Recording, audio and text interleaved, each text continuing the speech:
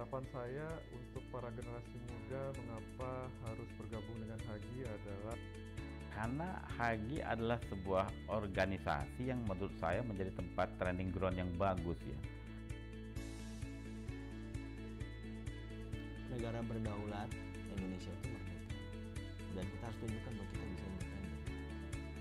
Uh, itu dulu bahasanya. Memang di luar tuh banyak uh, para generasi muda dapat memanfaatkan Hagi sebagai media untuk uh, menambah ilmu, menggali ilmu uh, geofisika.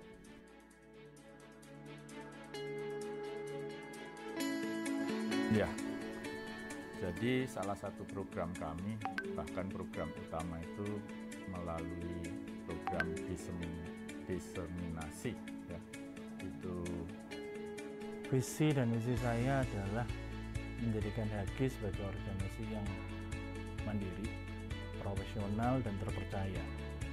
Program-program haji yang akan kita jalankan ke depan itu adalah salah satunya adalah uh, mulai mengedepankan bidang-bidang keahlian selain non migas yaitu misalnya energi baru terbarukan di mana ahli-ahli geofisika itu akan mempunyai peluang yang sangat besar.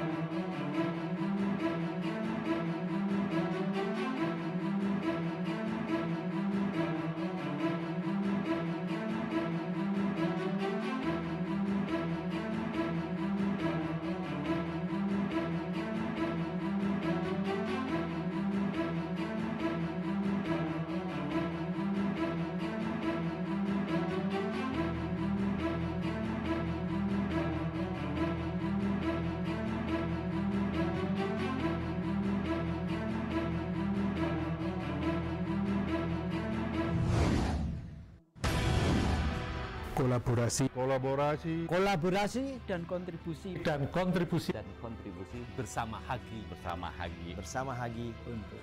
Untuk. Untuk Indonesia, untuk Indonesia. Untuk Indonesia. untuk Indonesia. Untuk Indonesia. untuk Indonesia.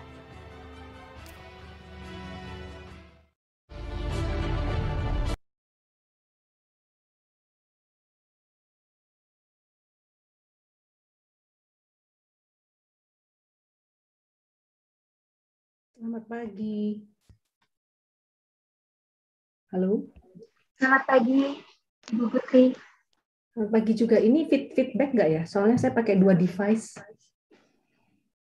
Sedikit sih, Bu. Sedikit terdengar. Eh, tapi kalau saya pak saya pakai dua device, maksudnya tuh supaya bisa saya bisa startup videonya. Em, ini saya nggak. Oh iya, Bu. Sejauh ini jelas. Bagaimana? Sorry. Sejauh ini suaranya Ibu jelas. Eh, Feedbacknya tidak terlalu berpengaruh, Bu. Oke, coba ya saya nyalakan eh, start videonya. Soalnya di di, di workstation-nya nggak nggak ada ini, apa nggak ada kamera. Jadi saya pakai itu. Bentar. Udah kelihatan belum ya? Sudah, Ibu Putri. Kelihatan ya? Iya. Oke. Em, Oke, saya coba share apa namanya eh, slide saya dulu ya, bisa ya? Coba kita lihat apakah bisa dilihat. Eh.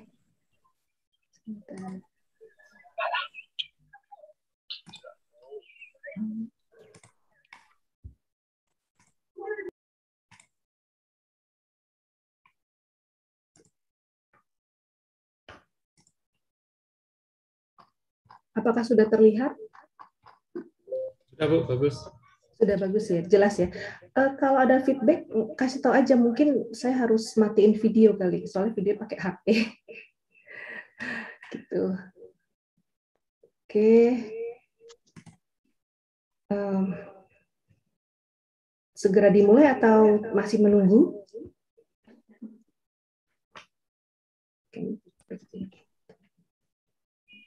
Halo? Iya, akan segera kita mulai ya, Bu. Uh, kalau nggak keberatan, saya matiin videonya kali ya, supaya nggak nggak dari handphone saya. Gimana? Ya, Bu Putri, silahkan. Iya, soalnya suaranya menggema sekali sebentar.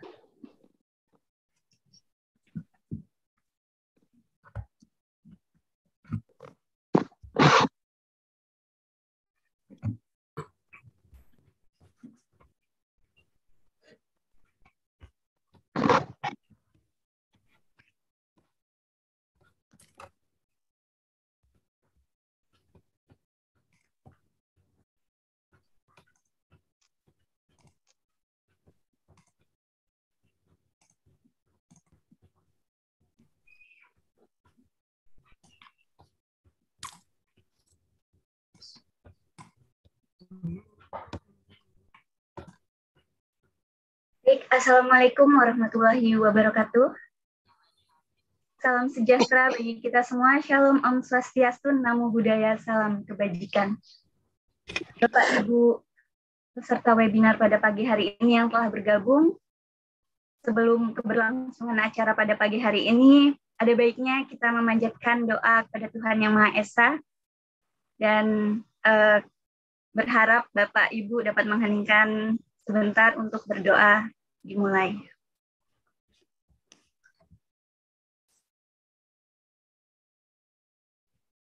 Selesai.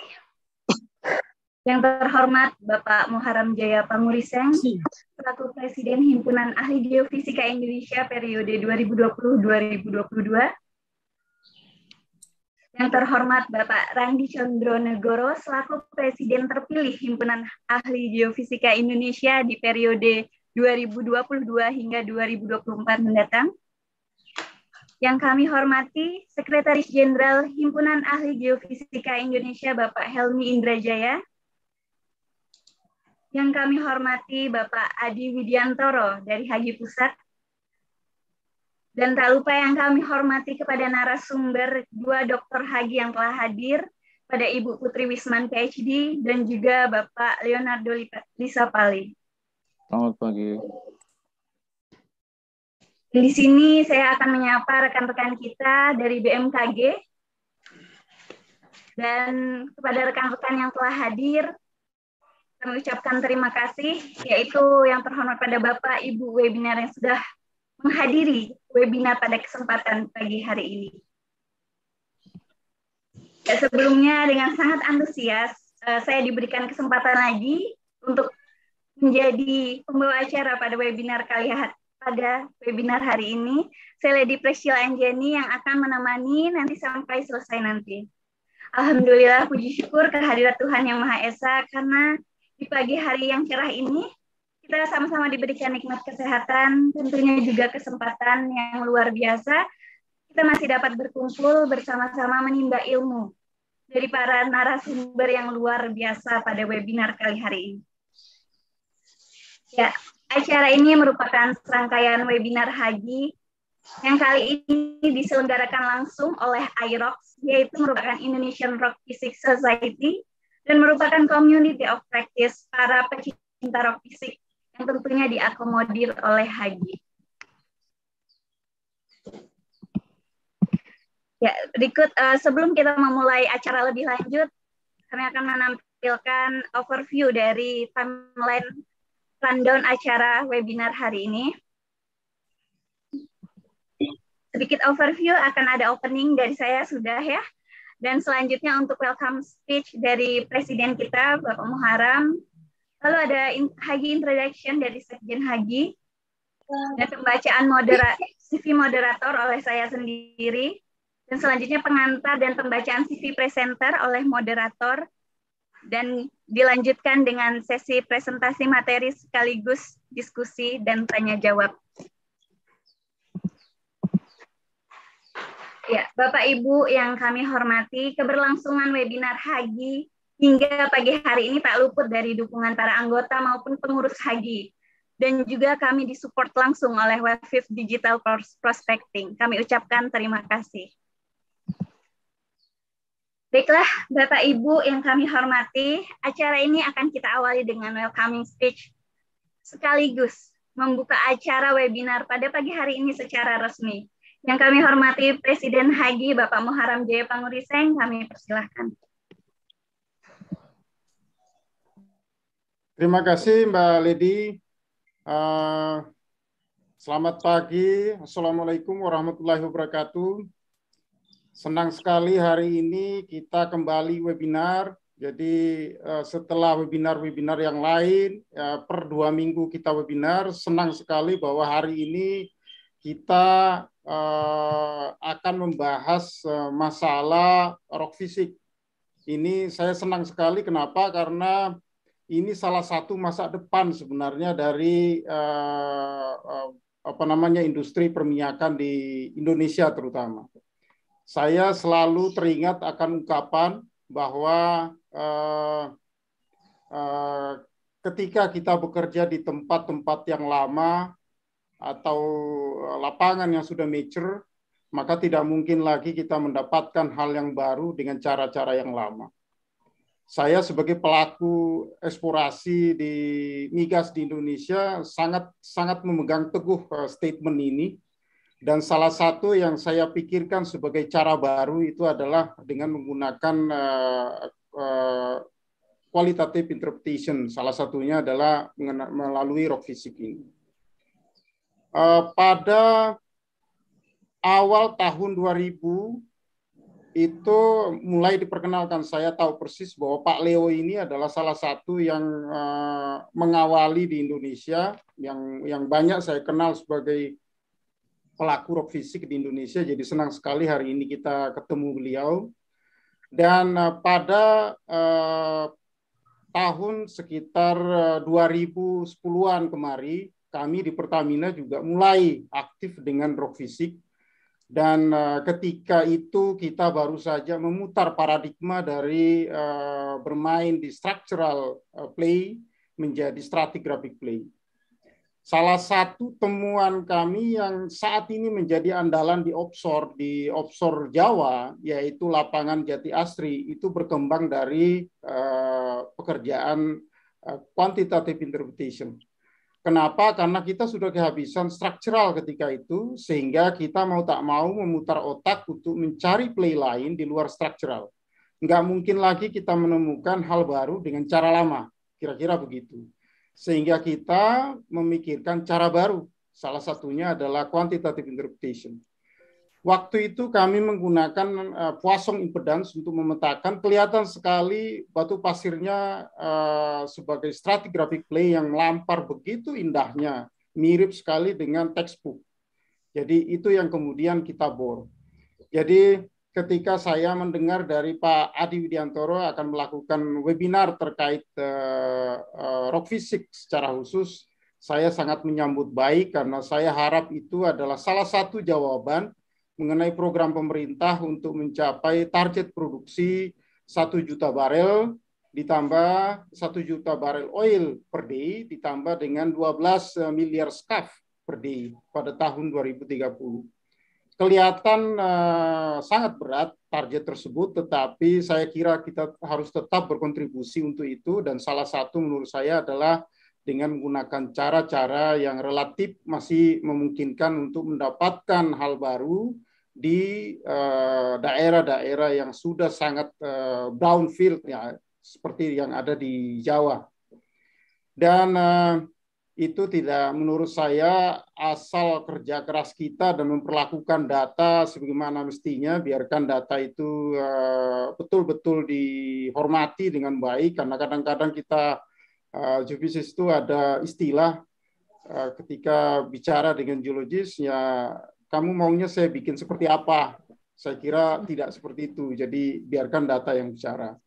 Jadi kebetulan di tempat kami kemarin juga di offshore Jawa juga baru mendapatkan discovery lagi yang cukup uh, signifikan dan juga itu memanfaatkan uh, teknologi seperti ini. Jadi saya menyambut sangat baik. Yang kedua, uh, saya juga berharap bahwa cita-cita uh, Pak Adi Widiantoro sebagai uh, chief editor uh, atau editor in chief untuk uh, jurnal geofisika menampilkan edisi khusus IROC di jurnal geofisika di bulan Desember ini bisa tercapai dan saya melihat bahwa webinar hari ini adalah salah satu uh, tanda-tanda uh, menuju ke arah sana.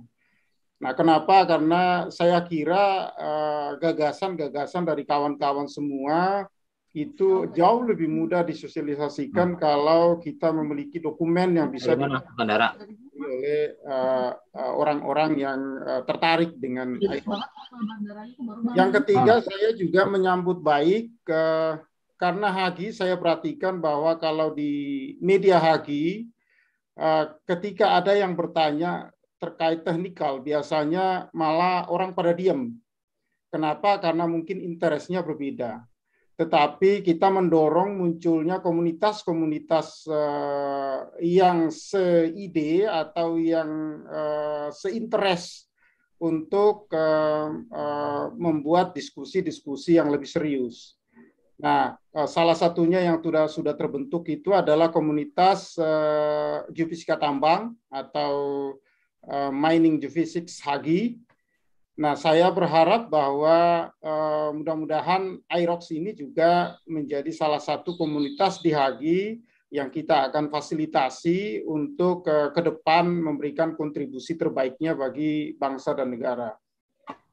Uh, saya kira itu yang uh, paling penting. Jadi pada hari ini sekali lagi saya ucapkan terima kasih kepada uh, narasumber Ibu uh, uh, Putri PhD dan Bapak uh, Leonard Lisapali PhD.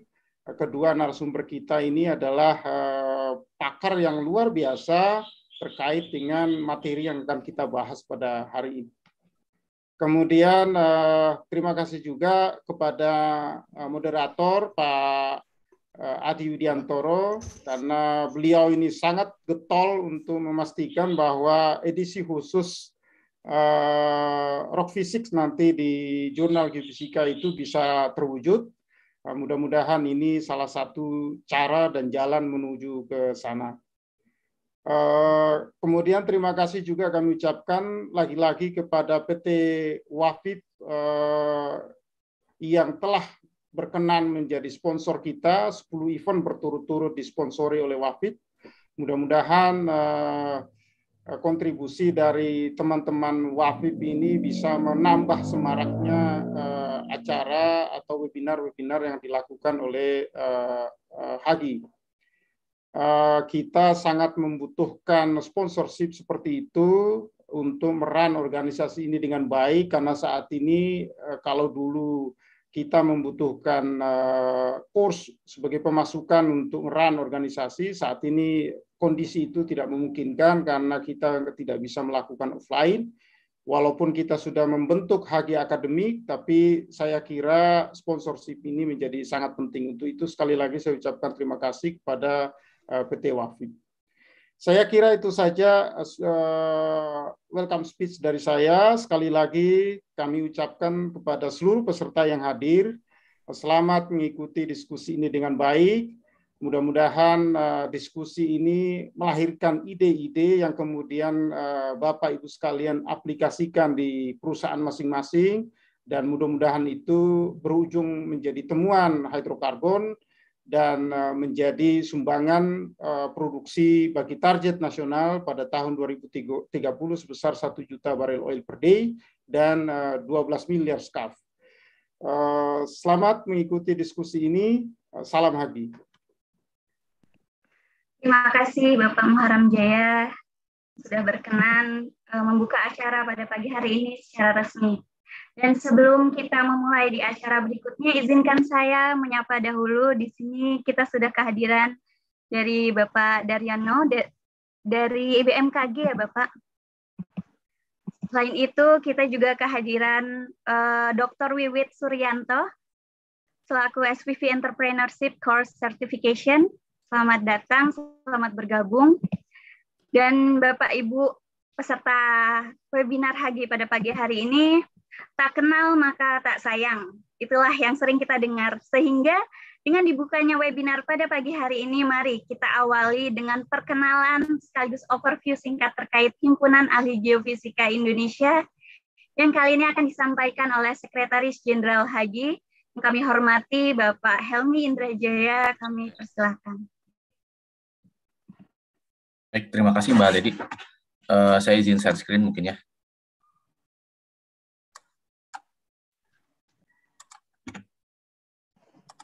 Ya, sudah terlihat ya. Sudah, Pak Helmi. Oke, uh, Assalamualaikum warahmatullahi wabarakatuh. Selamat pagi Bapak Ibu semua.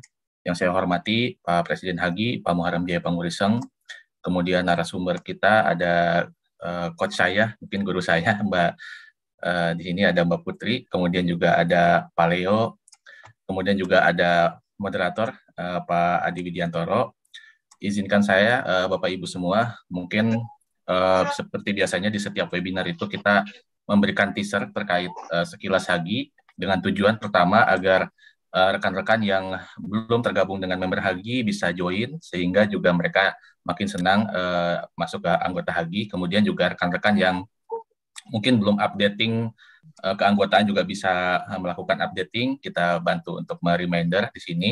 Kemudian juga yang terakhir mungkin kita akan memberikan update-update secara transparansi ya program-program uh, Hagi yang sudah berkembang sampai saat ini. Seperti kita ketahui bahwa Hagi itu sudah berdiri dari tahun uh, 9 pada tahun 76 di tanggal 9 Oktober di Bandung dengan jumlah anggota hingga kini sudah uh, berjumlah 4.425 dengan berbagai latar belakang dari profesional, dosen, peneliti, pemerintahan, dan juga mahasiswa. Dan Alhamdulillah sudah memiliki 23 komisariat wilayah yang empat di antaranya itu berada di luar negeri, yaitu di Australia, Malaysia, Eropa, dan Amerika. Sebagaimana amanat ADART, tujuan dari uh, pembentukan organisasi HAGI yang pertama yang, yang paling pasti adalah menyalurkan dan mengembangkan ilmu geofisikaan dan penerapannya terutama dalam uh, ini ya uh, mencerdaskan kehidupan bangsa. Kemudian juga yang kedua kita juga dibutuhkan untuk meningkatkan kerjasama dengan himpunan-himpunan lain untuk memajukan keilmuan kita. Yang ketiga, kita juga dituntut untuk meningkatkan kerjasama dengan para ahli yang nanti tujuannya untuk mempergunakan kegeofisikaan itu sendiri. Yang keempat, memupuk dan membina integrasi profesi geofisika. Dan yang kelima adalah e, memberikan masukan pemikiran kepada pemerintah yang tujuannya tadi adalah untuk e, pembangunan nasional. Nah, nanti bagaimana peranan Hagi, tujuan dan uh, realis realisasinya yang sudah kita lakukan selama ini nanti kita akan jabarkan dalam program Hagi yang berkembang.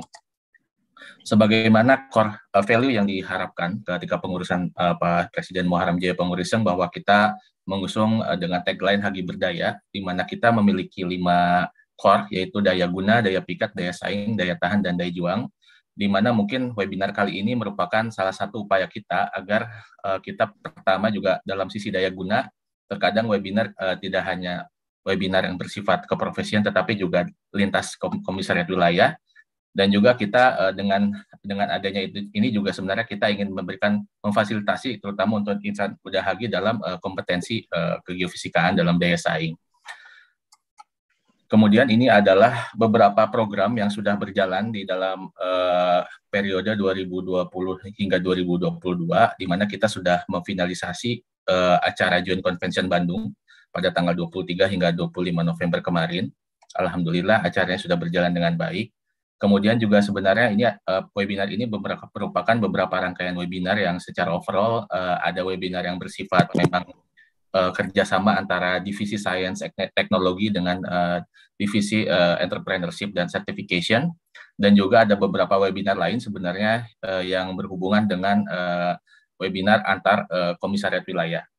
Kemudian kita juga sebenarnya memiliki internasional webinar juga, di antaranya beberapa webinar uh, terkait IM, elektromagnetik waktu itu, dan juga applied geo, geoscience uh, dari ITB maupun dari geologi ITB maupun dari geofisika ITB yang menjalin kerjasama dalam internasional webinar. Kemudian kita juga dalam Hagi Academy sudah ada tiga kegiatan course yang sudah berjalan. Alhamdulillah waktu itu dari teman-teman uh, divisi New and Renewable Energy memberikan uh, semacam course terkait magnetotelurik dan gravity dan juga kita ada kerjasama dengan Geotrack untuk uh, membangun kursus terkait uh, reservoir modeling. Kemudian alhamdulillah kita sudah memiliki 9 student chapter Hagi uh, dan beberapa training yang sudah diberikan kepada rekan-rekan uh, mahasiswa sehingga rekan-rekan uh, di Hagi semua tidak usah khawatir kalau pembinaan kita nanti akan continuous ya dari yang muda hingga yang nanti pembinaan di pengurus pusat.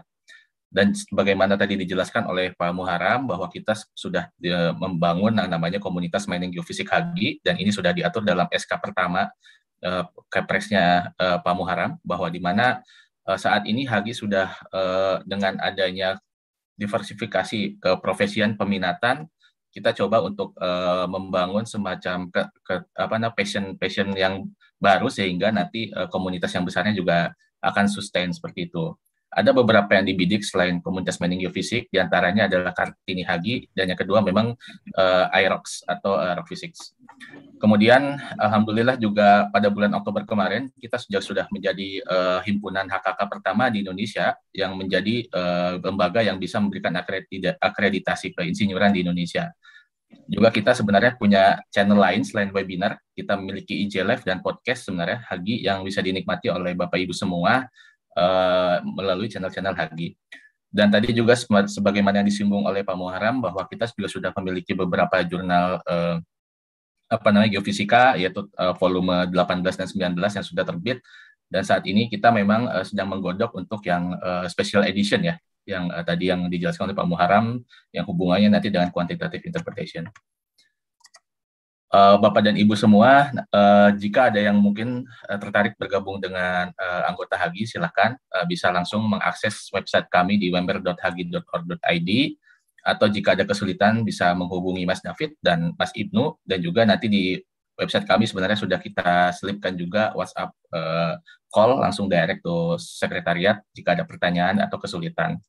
Bapak dan Ibu juga jika ingin apa namanya menginginkan memiliki uh, hard uh, cardnya seperti itu, uh, kita ada beberapa pilihan di sini. Sebenarnya kalau ingin membeli kartunya saja hanya 70.000, tetapi kita sudah coba bundle promosi ya sebenarnya dengan dua tahun ke keanggotaan dan juga uh, kartunya sendiri untuk profesional di 20, 249.000 dan untuk mahasiswa itu 149.000. Dan yang paling terakhir mungkin Bapak Ibu semua uh, karena saat ini kita anggota terus bertambah hingga eh, 4.000 ya. Kita juga sebenarnya uh, mengajak Bapak Ibu semua untuk juga masuk ke forum Hagi di Telegram. Saat ini jumlah di Telegram sudah mencapai 900 orang yang insya Allah nanti Bapak Ibu semua juga uh, silahkan uh, bisa berkontribusi di dalamnya. Dan jangan lupa juga untuk anggota-anggota lama yang masih uh, offline itu segera untuk re-update keanggotaannya menjadi online sehingga nanti seluruh database yang ada di kita juga semuanya akan uh, terintegrasi secara online.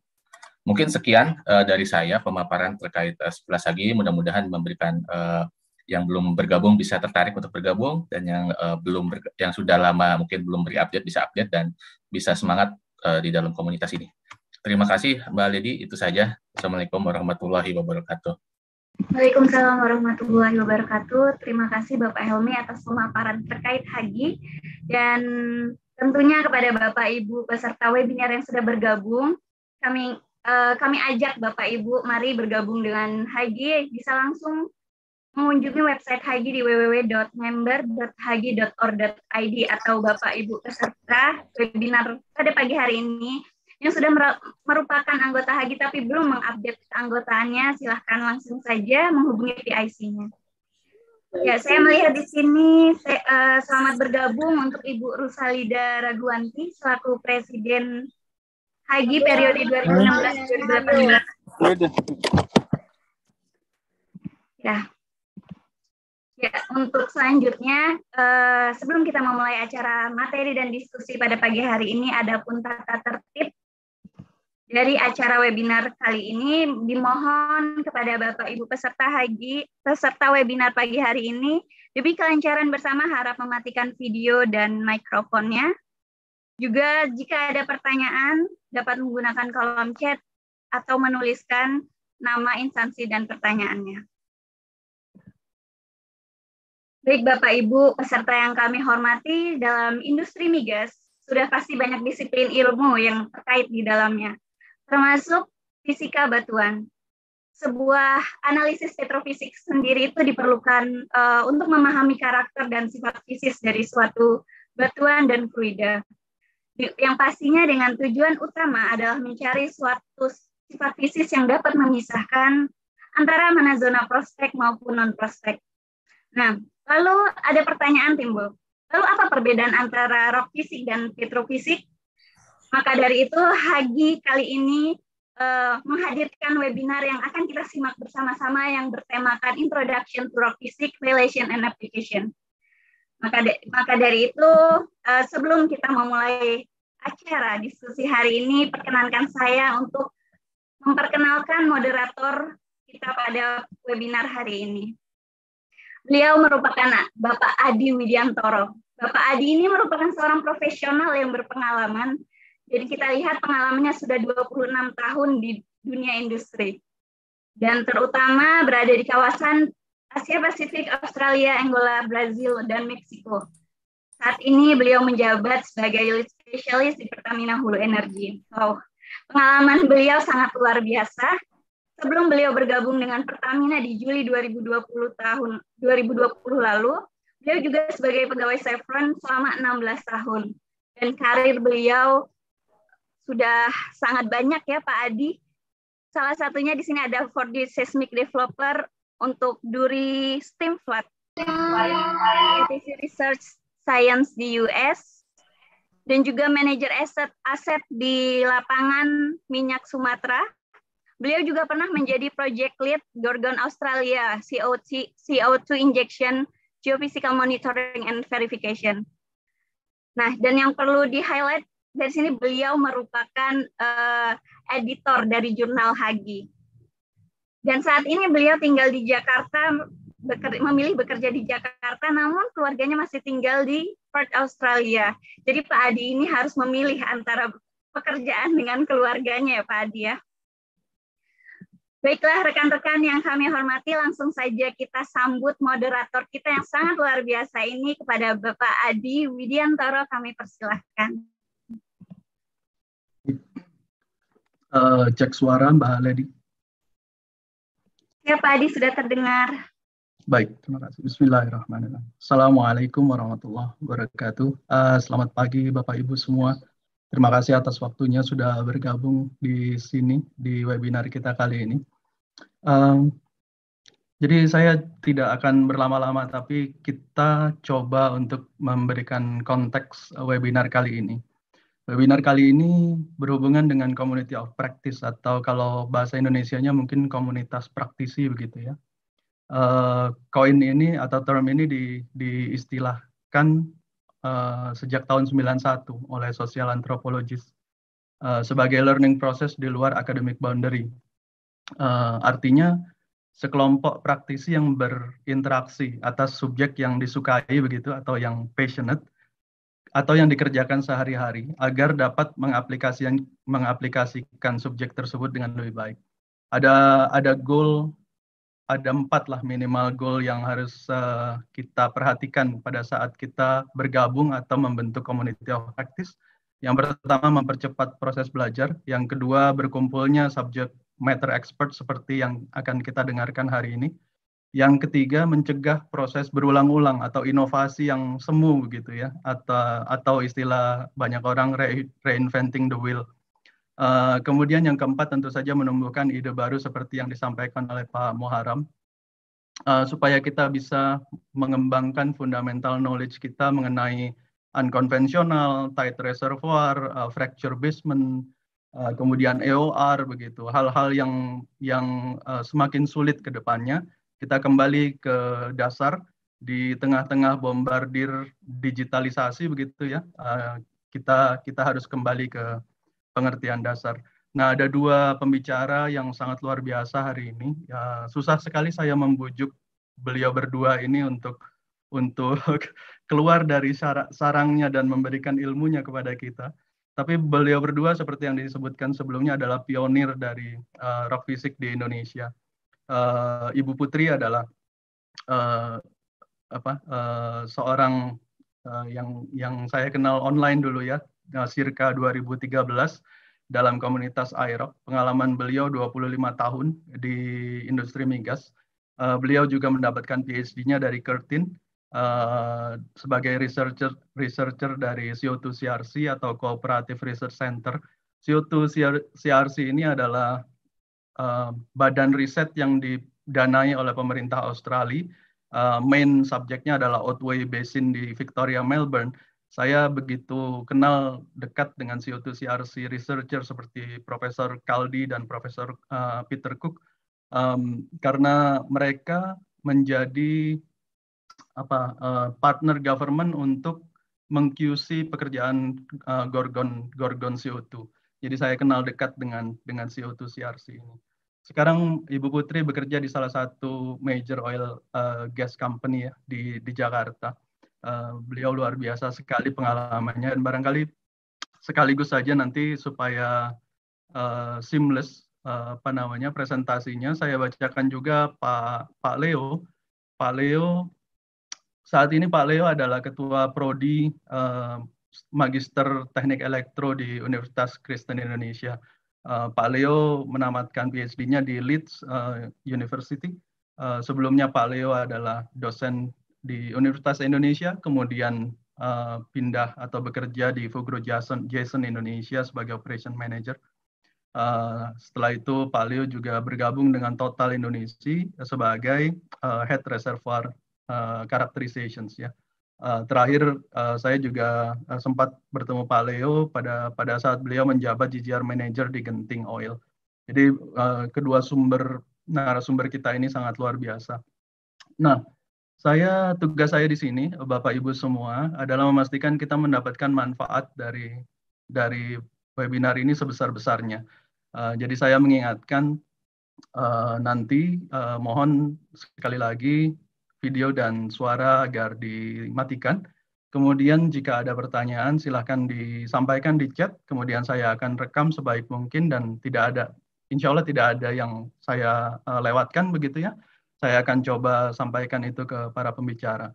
Aturannya adalah karena kita mempunyai waktu 25 menit untuk masing-masing pembicara, maka uh, kita coba menyelesaikan presentasi Ibu Putri uh, di presentasi pertama, kemudian dilanjutkan langsung oleh presentasi Pak Leo di uh, presentasi kedua, karena menurut uh, Ibu Putri dan Pak Leo keduanya berkaitan. Jadi mudah-mudahan uh, supaya tidak lupa, silahkan disampaikan uh, pertanyaannya melalui chat, kemudian saya akan rekam sebaik mungkin. Uh, kemudian nanti setelah presentasi Pak Leo akan kita diskusikan sampai kurang lebih jam 11 begitu ya. Uh, jadi silahkan Ibu Putri untuk sharing uh, share-nya, eh, sharing uh, screen-nya Bu Putri. Uh, terima kasih Pak uh, Mas Adi. Sebentar saya akan sharing screen. Baik. Uh, jadi uh, begitu Bapak Ibu semua, silahkan juga mengisi absen uh, yang sudah disiapkan di kolom chat bagi yang uh, memerlukan memerlukan sertifikat bisa misalnya begitu ya uh, atau ingin mendapatkan informasi-informasi webinar selanjutnya di di masa masa depan. Silahkan kita kita mulai. Bismillahirrahmanirrahim. Uh, terima kasih Mas Adi atas introduction-nya. Selamat pagi sekali lagi kepada Bapak Ibu. Uh, apa namanya? Waduh, saya merasa apa tersanjung sekali dari tadi dikatakan saya pakar, padahal saya Uh, saya apa namanya saya belum belum pakar loh jadi masih belajar juga.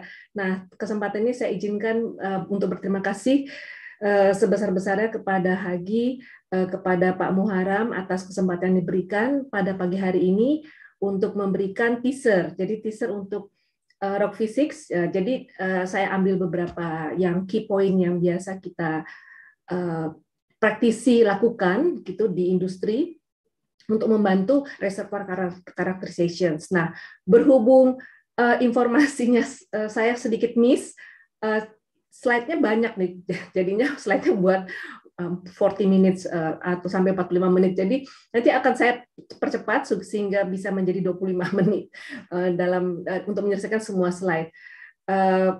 Kalau gitu kita mulai saja untuk mempersingkat waktu. Jadi Bu hari Putri, ini uh, yes, nanti ya. saya izin untuk mengingatkan sekitar 20 menit uh, eh, 5 menit sebelum 25 menit begitu ya Bu Putri ya. Boleh Mas Adi ya, monggo silakan. Baik, terima kasih. Terima kasih. Uh, jadi saya langsung aja. Jadi hari ini ada dua. Nanti Pak Leo akan lebih berbicara mengenai aplikasinya dengan beberapa contoh. Nah, uh, jadi eh sebentar sorry, nggak nyala ya? Sebentar. Uh, maaf kok nggak nggak mau nih nggak nyala sebentar ya. Oke. Okay. Uh, untuk hari ini presentasinya uh, ini beberapa referensi, jadi saya mulai dari beberapa referensi yang saya pakai untuk uh, apa namanya untuk mem membuat slide presentasi ini karena uh, terus terang saya sudah lama tidak berkecimpung di research, berkecimpung pun tapi different subject, jadi completely different subject ya, seperti itu. Jadi untuk rock rock physics kira-kira ini referensinya. Kemudian Nah, hari ini kita akan bicara Rock Physics Roadmap map, map. Jadi ada saya bagi tiga. Pertama saya akan memberikan introductions, kemudian ada relationnya. Ini relation yang biasa uh, kita pakai, uh, tapi mungkin karena keterbatasan waktu saya tidak akan membahas semuanya.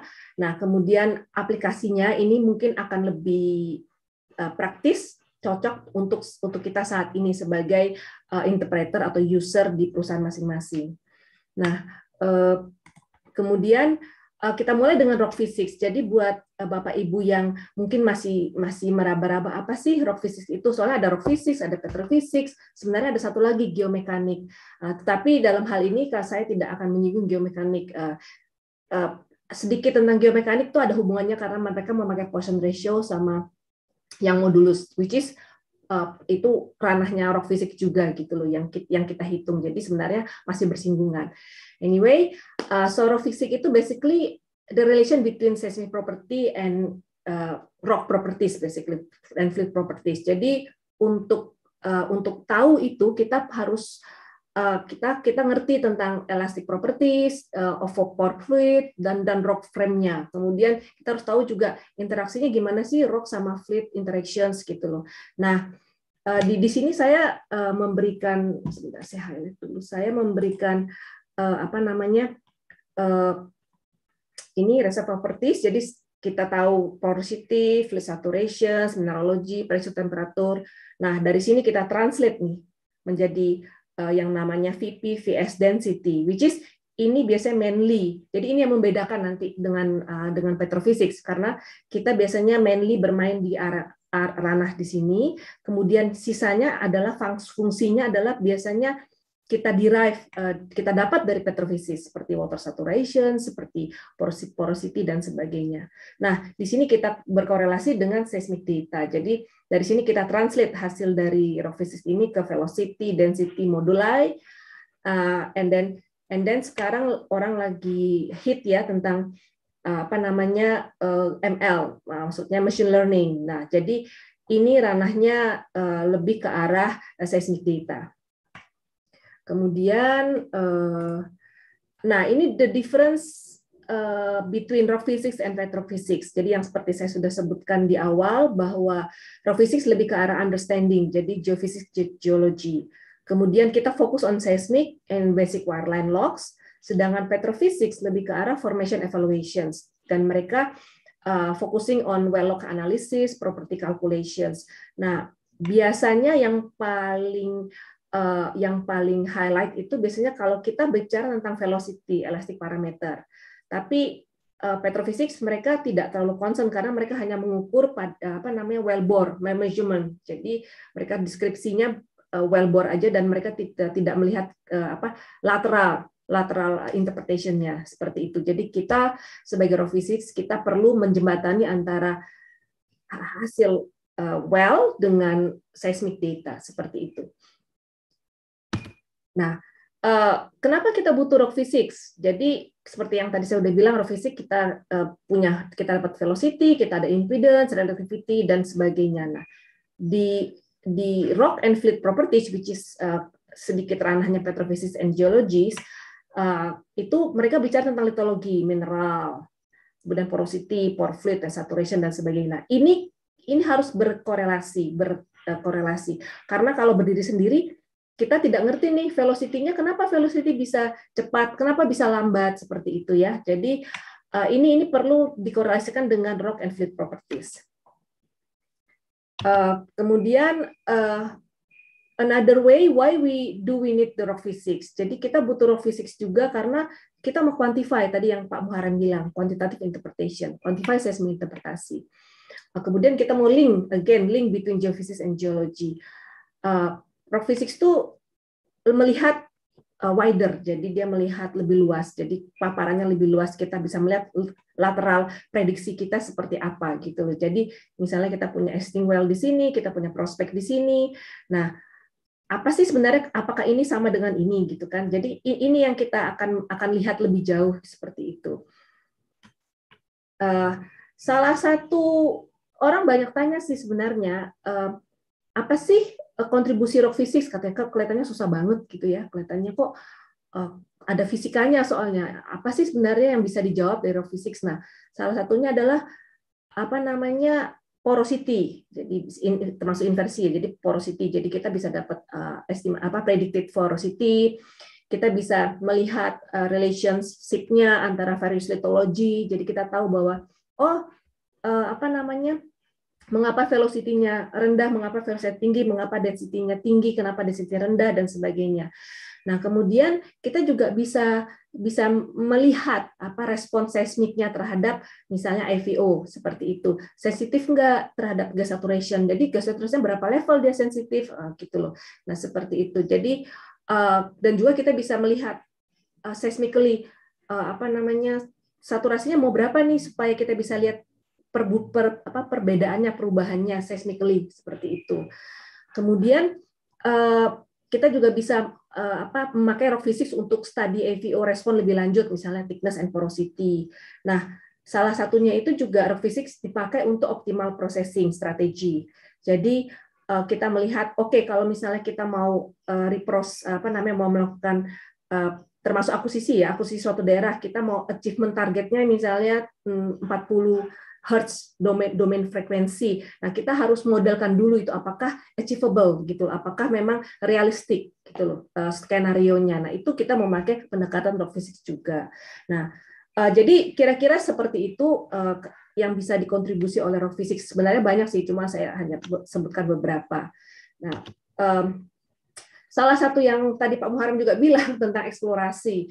Nah, saat ini eksplorasi makin makin limited. Uh, kemudian daerahnya frontier. Uh, kemudian uh, orang apa namanya yang mudah-mudah itu sudah di drill semua. Jadi kayak model anti-cline kayak gitu-gitu ya struktural sudah sudah sudah banyak yang di drill gitu loh. Jadi kita perlu rock physics untuk lebih bisa mengerti sebenarnya ini relasinya apa sih gitu kan ya.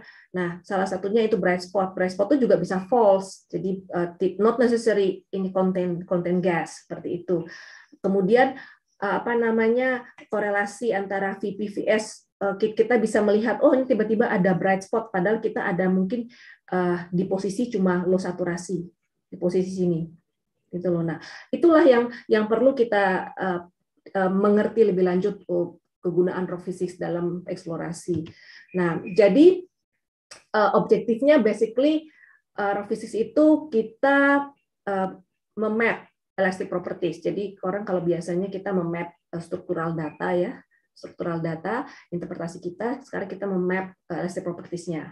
Nah, kemudian uh, kita juga mengkuantify lebih lebih lanjut, uh, sorry, mengkuantify lebih lanjut apa namanya reservoir propertiesnya. Kemudian eh, kita juga lebih mengerti apa namanya transformasinya, jadi trennya. Jadi tren itu biasanya dipakai depth trend untuk eh, membantu menderive eh, rock physics transform. Jadi kita bisa obtain porosity, lithology, fluid volume dan sebagainya. Nah, salah satu yang praktisi apa namanya sering menggunakannya adalah empirical trend. Jadi empirical trend itu itu bagus. Eh, jadi dia mengekstrapolasi outside of data range. But sometimes we are over abuse. Jadi over interpret. Sometimes we over apa over confidence kalau menurut saya.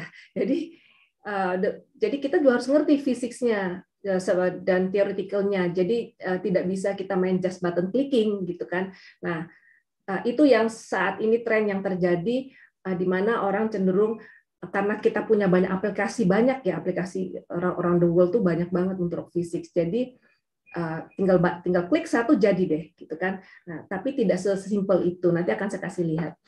Nah, kira-kira seperti itu objektif hari ini dan sekarang kita ke relation. Jadi rock physics relationnya itu apa aja sih? Nah, uh, yang dibahas di sini saya akan bahas yang basic-basic saja karena kita nggak nggak ada keterbatasan waktu.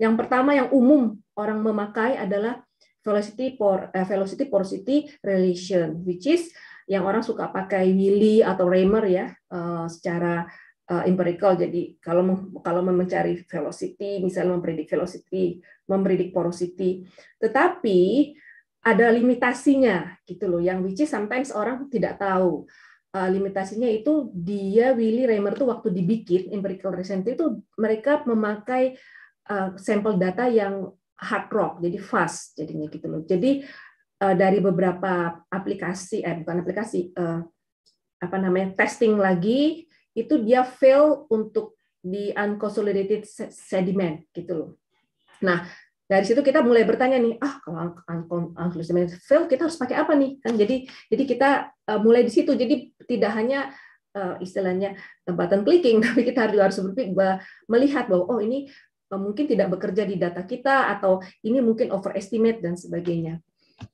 Uh, jadi kita butuh mengetahui relationship-nya. Nah, untuk untuk tahu relationship itu kenapa kita perlu tahu? Karena apa rock physics itu kan bermain di ranahnya velocity and moduli. Tapi kalau uh, kita kita melihat ke seismik lagi, kita bermainnya di travel time atau reflectivity. Nah, makanya kita harus tahu nih hubungannya apa nih yang kita lihat di seismik dengan uh, rock physics relationship-nya seperti itu. Uh, ini saya kasih contoh beberapa relationship between elastic properties.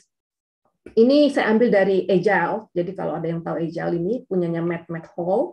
Nah, Eh, kita biasanya bermain di sini nih, physics. Jadi kita modulai. Nah, sedangkan uh, geophysics biasanya lebih bermain di ranahnya velocity. Tetapi uh, ini semua sebenarnya berkorelasi. Jadi misalnya portion ratio ini sama aja, cuma rumusnya aja yang berbeda, sedikit berbeda. Tapi rumus ini kita bisa bisa derive dari dari sini, VP VS ini. Gitu loh.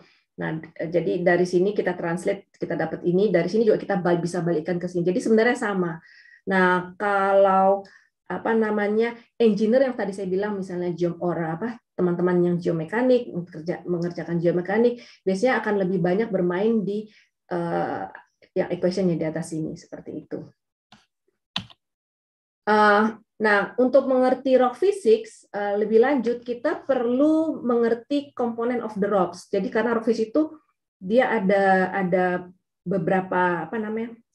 Ada beberapa parameter, beberapa variabel yang harus kita consider. Jadi ini contohnya uh, kita punya apa matriks dan kita punya semen dan kita punya porosity juga. Jadi uh, apa namanya? Pertama kita harus tahu framework grain-nya. Grain-nya apa sih? Gitu kan ya. Biasanya kalau saya uh, dulu kita punya XRD, jadi punya XRD atau uh, apa namanya SCA gitu ya. Jadi yang yang lebih komprehensif, dia menghitung uh, grain tapi spesifik banget dan ada count-nya seperti itu. Nah itu yang kita kita harus tahu apa sih yang dominan, apa sih yang minor, ada mineral apa yang yang mengganggu gitu kan ya, yang membuat dia tiba-tiba velocity-nya bisa bisa jump sendiri seperti itu.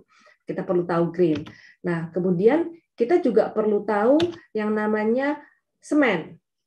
Jadi semen yang yang yang melekatkan ini yang sekitar sini itu apa sih gitu kan ya. Nah, macam-macam dan ini mempengaruhi semua, mempengaruhi bulk bulk modulusnya seperti itu. Nah, kemudian ada lagi yang jadi ini ya coatingnya ya semen semennya yang membungkus eh, matriksnya, membungkus grainnya seperti itu. Ada lagi yang porosity. Nah, porosity itu hubungan antara grain sebenarnya. Jadi nah, porosity ini penting karena dia terisi dengan pore fluid. Tapi eh, kondisi semula itu biasanya dengan eh, brine dulu. Jadi belum apa. Tapi kan kita nggak looking brine, kita looking yang for for hydrocarbon seperti itu. Jadi kita harus mengerti ini. Nah, ini tuh masing-masing akan dihitung. Jadi di rock physics itu ada tahap-tahapannya seperti itu.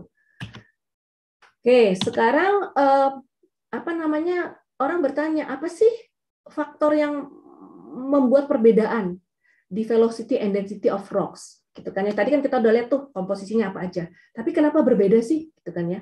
Nah kita simple simple aja kita start with density.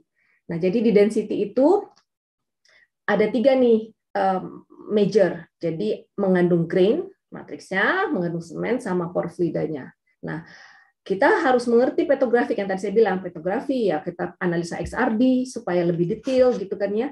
Nah dari situ kita akan menghitung. Jadi misalnya nih uh, menghitung uh, apa namanya kalau misalnya komponen uh, dia 65 persen, 5 persen, 30 persen, yang 30 persennya adalah diisi oleh brine ya, pore fluid. Nah berapa sih sebenarnya density-nya gitu kan ya.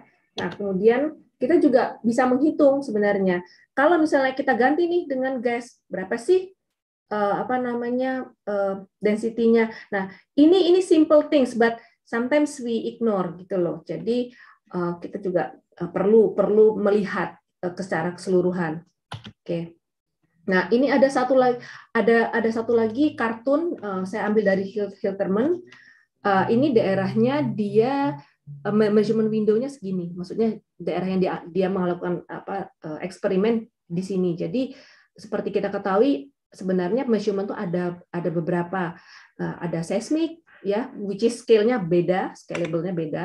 Ada logging yang lebih higher frekuensinya, ada laboratori ultrasonic much higher gitu loh.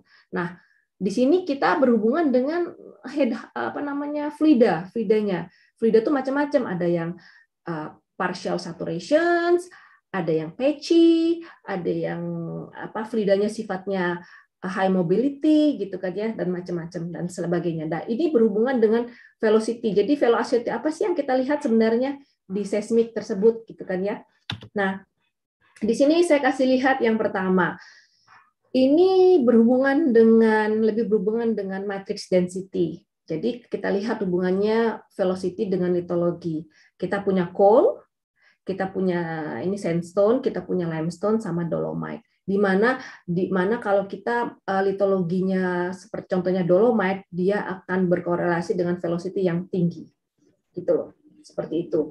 Nah, jadi uh, kalau coal coal juga tinggi. Jadi ini ini uh, apa namanya in general gitu loh. Jadi in general dia dia akan naik seperti itu. Nah, perubahan cementation juga begitu, dia akan uh, makin banyak sementasi biasanya dia akan uh, naik gitu. Tapi ada beberapa cementation yang uh, kalau pernah dengar Marion Shelly Sand model, nah itu uh, shell-nya itu pertama sebagai clay-nya sebagai semen, jadi dia uh, membungkus matriks, jadi membungkus grain. Dia dia bersifat hardening, di mana dia velocity-nya jadi jadi tinggi gitu kan ya.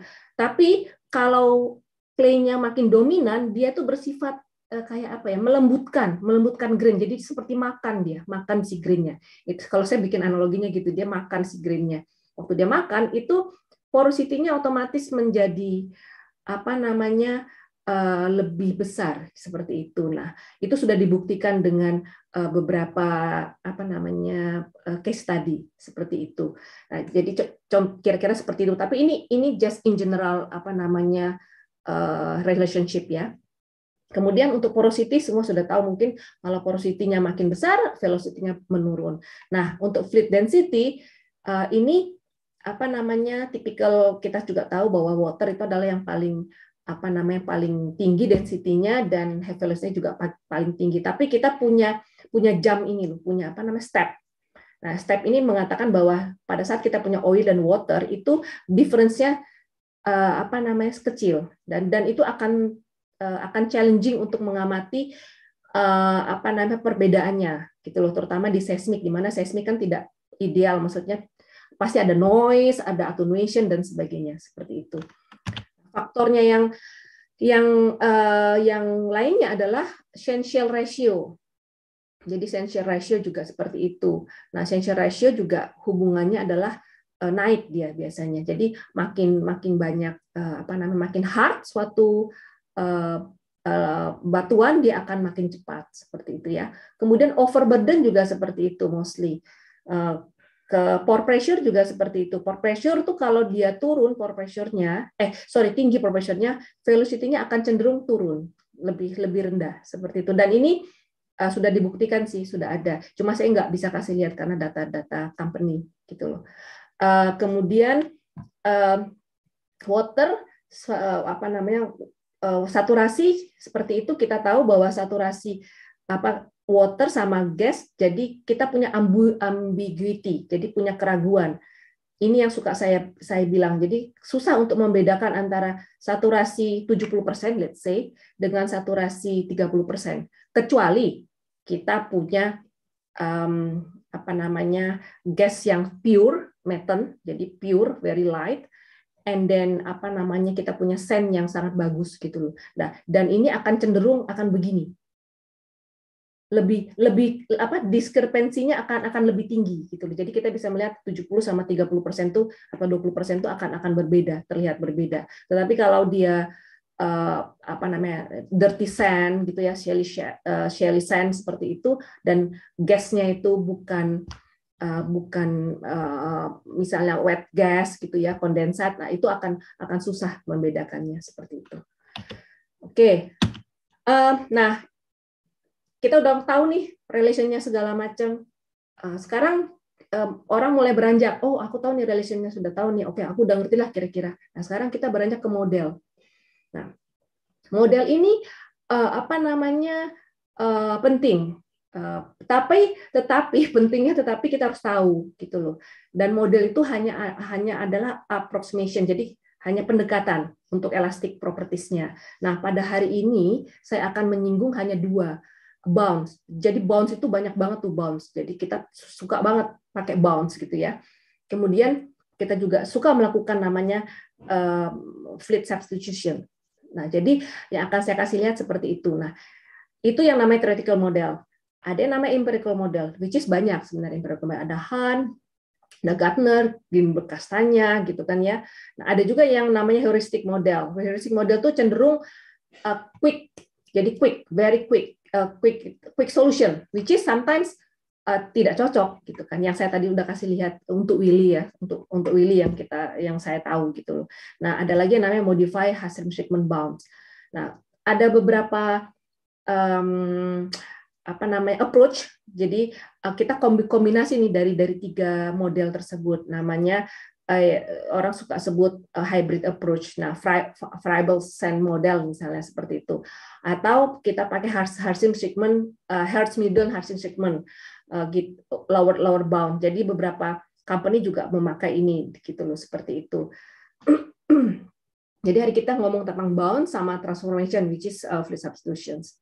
Nah, ini uh, apa namanya theoretical models kita ngomong soal bound. Jadi dia biasanya merepresentasikan rocks as elastic composite. Jadi dia describe the limit of elastic behavior.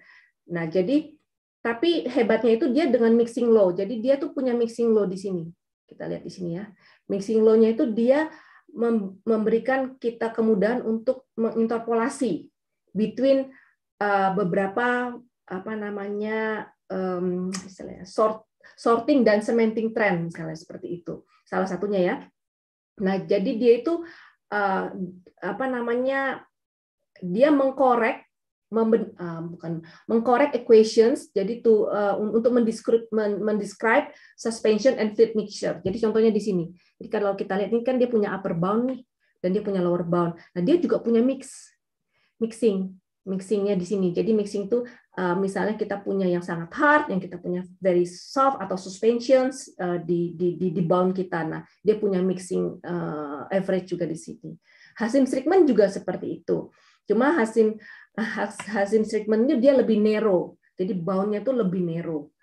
Biasanya apa namanya? Kalau saya pribadi kalau misalnya dia reus dia Eh, modulusnya nol dia dia akan sama dengan hasil treatment bound yang lower bound.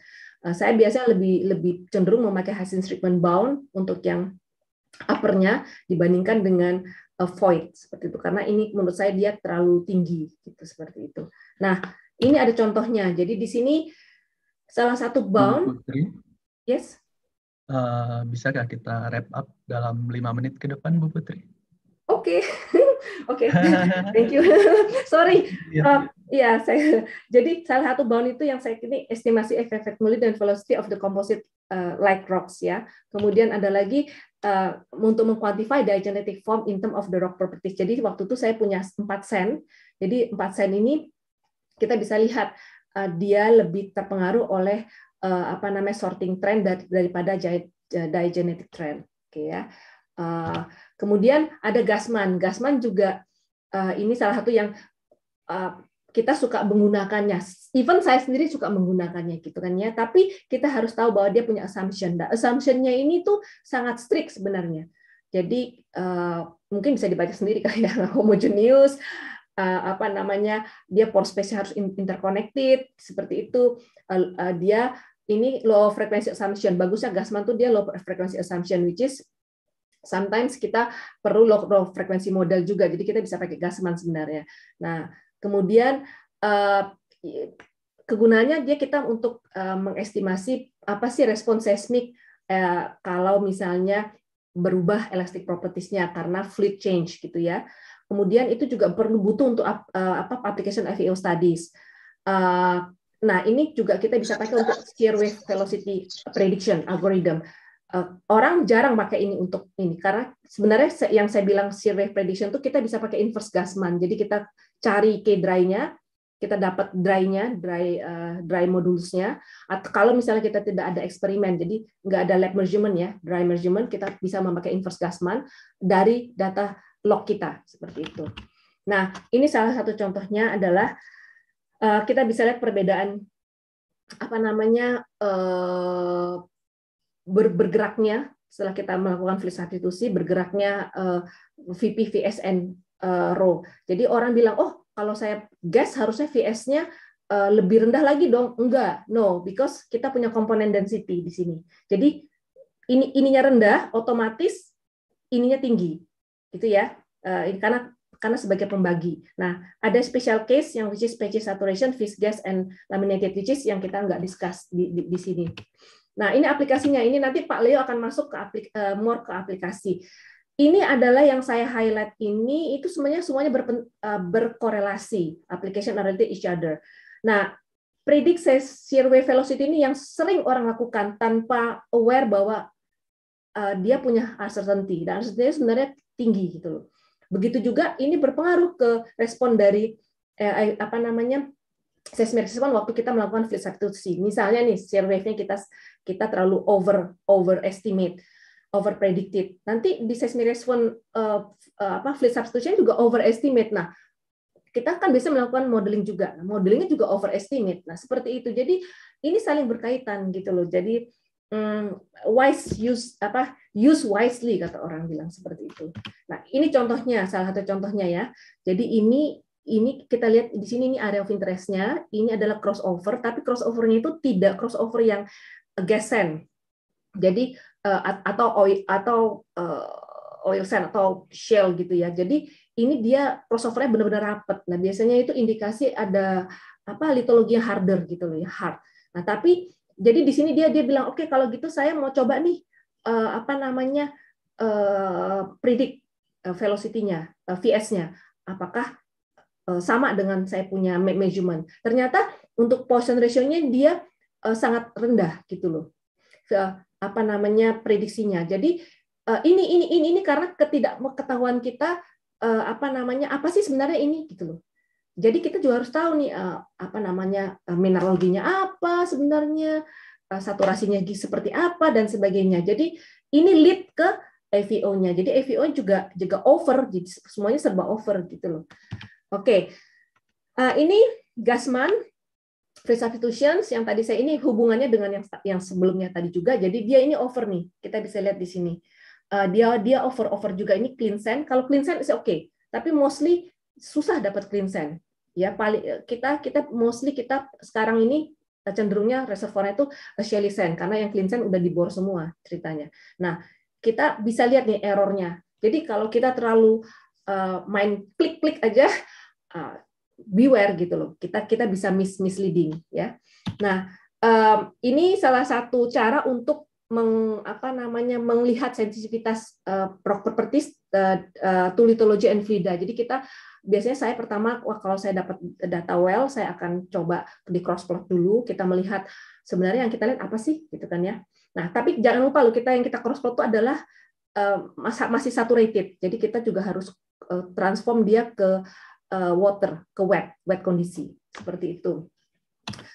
Uh, ini apa namanya beberapa uh, model. Jadi uh, uh, apa high high impedance model contohnya. Jadi kalau kita punya high impedance model, kita lihat sensitivitasnya ini uh, sangat uh, apa namanya sangat kecil ya sensitivitasnya uh, antara uh, v, uh, apa namanya v, VP VP uh, VP gas sama VP oil seperti itu. Jadi kalau high impedance model itu kita kita perlu high porosity juga. Tapi kan itu almost almost almost tidak ada kali ya seperti itu. Jadi uh, ini ini ini cuma model. Jadi saya coba melihat bagaimana sih efek dari elastic properties nah terhadap saturasi velocity and density. Nah kemudian juga di sini VS-nya seperti apa rho-nya seperti apa. Jadi efeknya yang paling besar kalau misalnya dia high impedance models adalah di density-nya. Nah, nah ini juga uh, untuk low impedance model seperti apa? Low impedance model itu uh, VP-nya juga lebih sensitif dan density lebih sensitif, uh, density less sensitif. Coba kita lihat nih, uh, hampir sama sensitif sensitivitasnya. Jadi again uh, ini ini apa namanya uh, relation between uh, beberapa elastic uh, elastic properties. Nah ini inversi uh, bisa uh, juga dipakai untuk constraint inversion. Jadi contohnya di sini adalah kalau kita apply rock physics constraint apply, jadi kita bisa mendapatkan uh, uh, apa hasil inversi yang more realistik gitu loh seperti itu. Uh, kemudian uh, uh, ini juga yang saya tadi bilang, jadi urutan kan dari sphere prediction kita model, eh akhirnya kita kita mau lihat IVO responnya seperti apa. Nah ini kita apa namanya uh, salah satu kegunaan aplikasinya. Uh, Oke, okay. uh, ini uh, ada advice dari Dr. Jack Dovkin. Jadi kemarin kalau uh, Bapak Ibu mengikuti uh, web webinarnya uh, Pak Pak Jack ini dia bilang sekarang lagi common nih machine learning.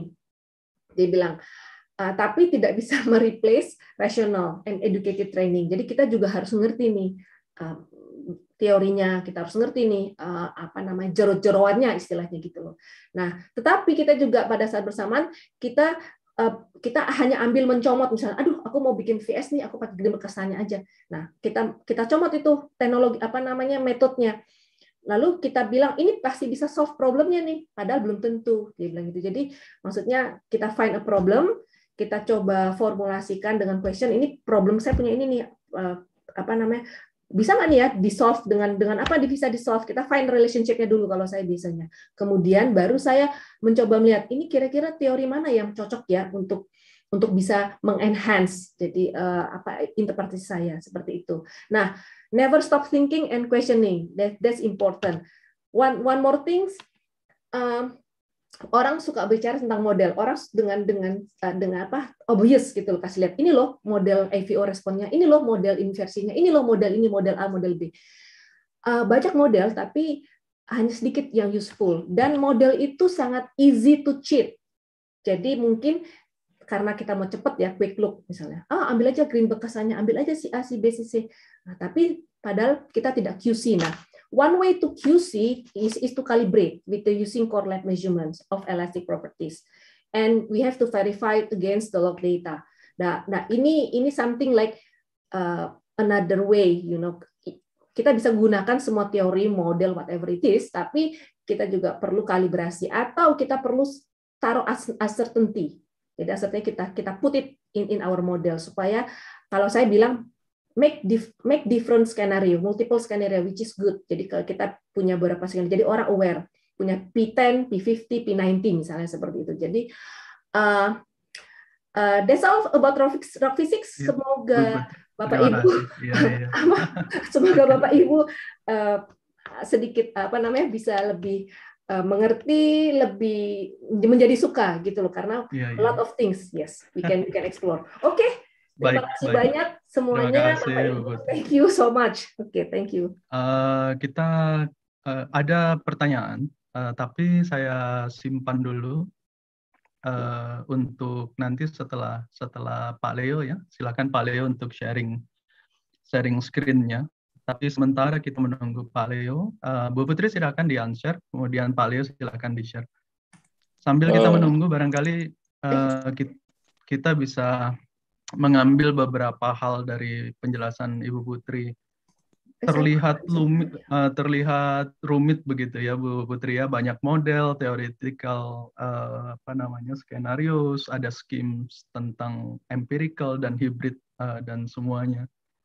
Memang waktu saya belajar dulu tidak banyak kita bahas uh, tapi mungkin inilah gunanya community of practice karena kita meng mengenal banyak problem sehingga kita mencari solusinya begitu jadi se sepanjang karir saya saya ber saya ber apa namanya berkutat dengan rock fisik ini mengajarkan saya untuk berpikir kritis begitu. Jadi ini mungkin untuk adik-adik uh, mahasiswa uh, jangan lupakan untuk tetap mempertanyakan teori dan berpikir kritis karena inilah yang menjadikan uh, penemuan-penemuan uh, ke depan begitu ya. Jadi silakan Pak Pak Leo. Nanti kita simpan eh, pertanyaan-pertanyaan tersebut untuk diskusi selanjutnya ya. Pak Leo juga mempunyai waktu 25 menit. Silakan Pak. Uh, baik, Pak Adi, terima kasih. Suara saya bisa didengar? Bagus, Pak Leo. Oke, baik. Uh, selamat pagi, Bapak, Ibu-Ibu sekalian, Bapak-Bapak senior Hagi, Bapak Ibu yang satu angkatan maupun yang junior ya. Uh, pagi ini saya akan share sedikit pengalaman saya, tapi mungkin sebelum saya mulai, saya introduksi sedikit mengenai apa yang disebut dengan IROX, karena mungkin banyak yang mungkin sudah tahu, tapi banyak juga yang belum tahu gitu IROX itu apa gitu. Jadi mungkin saya akan memulai presentasi saya dengan materi singkat saja mengenai IROX ya. Jadi IROC ini sebetulnya dulunya adalah uh, singkatan kita sebut sebagai singkatan dari Indonesian Rock Physics Society ya. Jadi ini merupakan sebuah grup informal, diskusi uh, grup discussion yang informal, jadi tidak tidak ada wadah resminya mengenai rock fisik ya. Walaupun di dalam perjalanannya kemudian uh, ada macam-macam yang kita uh, buka, jadi yang yang kita bahas uh, khususnya misalnya mengenai seismik, uh, inversi dan sebagainya. Jadi uh, dulunya ini ada sekedar informal saja ya. Kemudian uh, kita menginisiasinya di sekitar tahun 2015 kalau saya tidak salah ingat ya oleh sebuah grup kecil. Ada saya, ada Bu Putri, ada Pak Roy Barus dan mungkin ada beberapa orang lagi seperti Pak Paulus ya. Uh, kemudian seiring waktu berjalan sempat ada kegiatan cukup rutin. Kemudian lama-lama menghilang ya. Jadi semakin menghilang setelah saya pensiun di tahun 2018 karena uh, secara formal saya tidak uh, bisa melakukan kegiatan lagi untuk grup ini gitu ya. Nah, Kenapa IROC? Nah, IROC ini sejarahnya sebenarnya simple saja dan kita bukan gagah-gagahan tapi uh, hanya sekedar fun aja. Jadi itu sebenarnya diambil uh, karena waktu itu iPhone lagi booming ya. Jadi orang-orang selalu selalu pamer pamer iPhone. Jadi kita namakan juga IROC ya walaupun singkatannya memang oke okay ya Indonesia Rock Physics Society. Jadi itu secara singkatnya. Kemudian dalam kegiatannya kita ada uh, webinar uh, bukan bukan webinar. Jadi kita memang ada seminar jadi offline pindah pindah-pindah tempat awalnya belakangan kemudian uh, lebih sering di kantor saya waktu itu. Ini salah satu topik yang dibahas rock fisik aplikasi rock fisik untuk uh, eksplorasi dan pengembangan uh, lapangan minyak dan gas. Kemudian uh, selain rock fisik kami membahas juga mengenai hal-hal yang non fisik ya. Ini salah satu hal yang menarik saya aku ini cukup menarik waktu itu oleh Pak Paulus ya.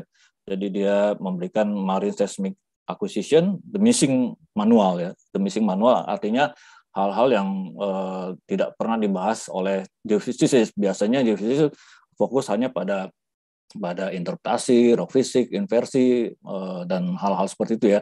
Tapi ternyata dalam pekerjaan kita itu sebenarnya ada hal-hal yang non teknis. Jadi misalnya uh, administrasi, kemudian kontrak dan sebagainya ini dibahas dalam uh, dalam acara ini. Jadi cukup variatif. Ini tahun 2017 masih aktif waktu itu. Kemudian ada juga pembicara yang kami undang dari company, sebetulnya dari JGI kalau nggak salah, membicarakan mengenai eksplosif, perbandingan eksplosif dan dan fibrosis ya.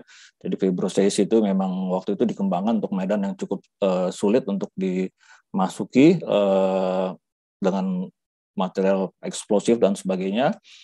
Kemudian uh, awalnya setelah selain undangan kita juga internal ada seperti Pak Roy memberikan uh, pelatihan mengenai uh, rock physics waktu itu kalau nggak salah EVO ya. Jadi uh, Pak Roy mengintroduksi uh, aplikasi uh, Python untuk uh, rock physics ya. Jadi waktu itu uh, di SKK Migas kalau tidak salah. Kemudian saya lupa fotonya. Dan waktu itu memang ada rencana untuk membuat buku ya. Jadi kita ada semacam rencana yang dimotori Paro ya. Jadi ada uh, rencana membuat semacam buku panduan analisa rock physics dasar menggunakan bahasa Python. Jadi ini masih versi aslinya, masih saya simpan ini Pak Roy. Uh, waktu itu Pak Roy masih jadi sekjen kalau nggak salah ya. Jadi rencananya ini sudah ada daftar isi, tapi kemudian seperti saya katakan tadi fade out ya, jadi menghilang karena kesibukan eh, masing-masing uh, personilnya. Ya. Ini kegiatan terakhir, uh, saya masih sempat mengkoordinasi kegiatan ini kalau nggak salah 2019 waktu itu CGG memberikan sponsorship berupa uh, pelatihan bersertifikat. Jadi selama 14 pertemuan ini kalau kita mengikuti semuanya masing-masing peserta ini mendapat sertifikat untuk uh, pelatihan rock physics ya. Jadi ini sponsornya waktu itu CGG kebetulan Pak Mandong ada di sini. Terima kasih Pak untuk uh, CGG yang uh, sering membantu ya karena memang uh, company yang sering membantu kami itu CGG ya. Oke, nah hari ini uh, dengan diadakannya uh, webinar ini khusus mengenai rock physics, uh, maka kita merencanakan the return of iRock gitu. Jadi mungkin uh, society ini akan kita aktifkan kembali dan uh, saya senang karena ternyata banyak sekali motornya yang sudah siap. Ada Pak Adi, kemudian ada beberapa orang lain yang muda yang siap membantu Pak Trisakti, kemudian eh, Pak Budi Permana dan lain-lain. Jadi eh, hari ini eh, kita merencanakan the return of IROC ya. Ini gagah-gagahan ya. ya, tapi ya mudah-mudahan eh, kita bisa jalankan dengan smooth dan lebih berkembang ya. Karena saya yakin rock music ini cukup banyak uh, digunakan dalam dalam pekerjaan sehari-hari. Nah, seperti pesan Bu Putri uh, tadi, saya mengambil dua topik yang menurut saya uh, jarang diekspos. Jadi kalau kita bicara mengenai rock physics, selalu yang uh, kita bicarakan adalah uh, EVO, uh, rock physicnya sendiri, seismic inversion, uh, geo, geostatistik dan lain-lainnya. Nah, saya uh, akan ambil dua hal yang jarang diekspos, yaitu digital rock physics Kemudian satu lagi adalah seismic modeling. Tapi yang saya maksud dengan seismic modeling ini adalah yang forward ya. Karena ada dua, ada yang inversion, ada yang forward ya. Nah, saya akan lebih fokus pada uh, digital log physics dan uh, seismic forward modeling. Jadi kalau pengertian uh, seismic modeling dalam presentasi saya hari ini adalah seismic forward modeling ya. Jadi dua hal ini aja saya bahas. Jadi saya akan uh, lihat dulu mengenai digital rock physics. Okay. Kalau saya berikan waktu Anda 30 detik lah, kira-kira kalau saya punya kotak empat ini, angka berapa yang mau mau Anda isi, yang kita isi?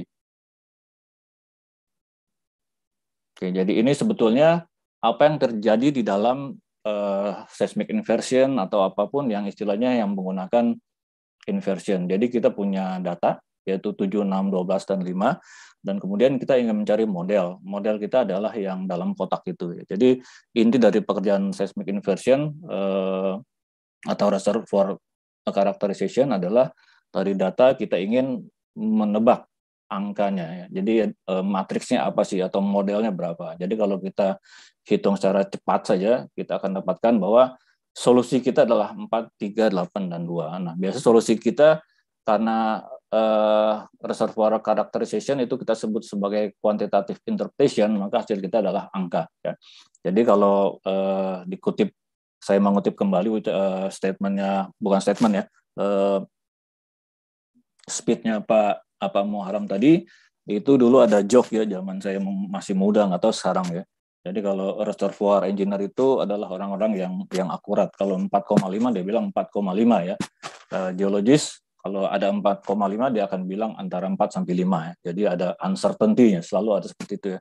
Nah, kalau geophysicist dulu itu lu maunya berapa gitu ya. Jadi eh, solusinya maunya berapa gitu. Tapi eh, quantitative interpretation bukan seperti itu ya. Dia berbicara dari data. Jadi datanya apa, kemudian kita invert, nah hasilnya adalah model kita. Jadi eh, quantitative interpretation ini adalah usaha untuk memfixkan solusi kita sebaik mungkin ya. Jadi seperti itu walaupun memang kita ada semacam uh, uncertainty uncertainty analisis saat saat kita menemukan solusi. Jadi uh, selalu ada seperti itu. Nah, solusi kita biasanya berupa angka dan kemudian biasanya kita menggunakan uh, ya color map dan sebagainya.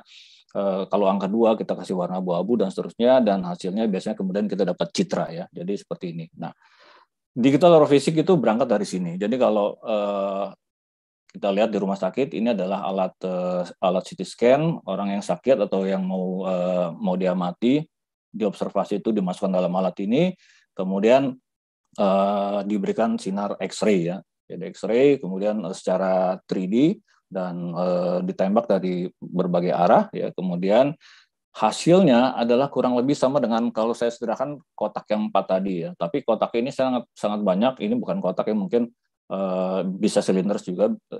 Jadi seperti itu. Nah, uh, intinya adalah yang kita ukur adalah intensitas. Jadi intensitas. Nah, kemudian kita membuat model ya. Di mana model itu bahwa intensitas yang kita kita amati adalah kombinasi linear misalnya dari eh, sifat-sifat uh, di dalam tubuh manusia. Jadi seperti itu ya. Uh, kemudian kita melakukan inversi balik. Jadi uh, biasanya kalau tomografi itu kita menggunakan ART misalnya ya. Jadi eh, kita bisa hitung balik untuk mendapatkan modelnya. Dan hasilnya kita tahu kalau di rumah sakit adalah seperti ini ya. Jadi kita bisa melihat bagian dalam manusia tanpa kita harus membedah. Nah, rock fisik bagaimana? Kalau rock fisik itu sama. Jadi batuan yang ada, misalnya core, eh, satu core itu kita masukkan dalam eh, medan X-ray ya, kemudian uh, ditembak, kemudian intensitasnya kita rekam, kemudian intensitasnya ini kita proses ya. Jadi digital rock physics ini basicnya adalah X-ray, sangat menarik ya. Dan kalau kita proses, kita akan dapatkan kurang lebih seperti ini. Ya. Ini saya ambil dari uh, websitenya Core Lab. Jadi kalau saya punya core yang biasanya kita uh, untuk analisis itu sangat terbatas, hanya satu section misalnya. Nah dengan di digital physics ini kita bisa melihat Eh, core itu secara tiga dimensi. Kita bisa potong di mana pun kita suka tanpa kita harus memotong si core-nya gitu. Jadi eh, kita cukup eh, seperti seismic 3D kita bisa bisa potong di mana saja ya kita mau. Jadi seperti ini dan kita bisa lihat ada porosity dan sebagainya, kemudian hal-hal yang lain. Dan saya pikir ke depannya mungkin kalau kita tertarik kita bisa eh, menggunakan katakanlah artificial intelligence untuk menganalisis eh, hasilnya, misalnya untuk mengenali batuan dan sebagainya, menghitung porosity dan sebagainya. Jadi eh, ini salah satu hal yang bisa kita lakukan ke depan mengenai eh, digital rock physics. Ya. Oke, ini adalah beberapa eh, teknik 3D, 3D tomografi. Jadi kalau kalau sebentar saya lihat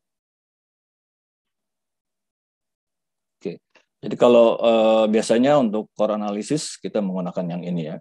Nah kemudian kita tahu bahwa salah satu kendala ya, jadi salah satu kendala dalam teknik ini adalah kalibrasinya. Ya. Jadi memang ada pekerjaan tambahan sebetulnya uh, waktu kita uh, selesai melakukan uh, analisis dengan dengan metode ini, selalu kita memerlukan proses yang namanya kalibrasi. Ya. pengalaman saya dulu memang kantor pernah mencoba dengan Pak Fauji di lab uh, Fishboom di ITB, uh, kami waktu itu menghitung porosity, tapi memang porosity-nya uh, agak kurang match dengan hasil lab ya, dan memang uh, harus ada semacam proses proses kalibrasi. Nah, proses kalibrasi ini ada salah satu contoh adalah dibahas dalam salah satu paper yang uh, ditulis oleh Madonna. Jadi Madonna ini nggak hanya nyanyi ya, tapi dia juga melakukan penelitiannya. Ini joke aja ya sama-sama Madonna namanya, tapi bukan penyanyi ya. Jadi ini adalah bagian yang uh, digital rock fisiknya, ini bagian labnya, kemudian ada semacam proses kalibrasi Anda bisa baca di paper ini, kemudian akhirnya uh, informasi dari digital rock fisik ini bisa dilakukan, bisa digunakan secara maksimal untuk melakukan macam-macam prediksi ya, tergantung apa yang mau mau kita lakukan. Oke.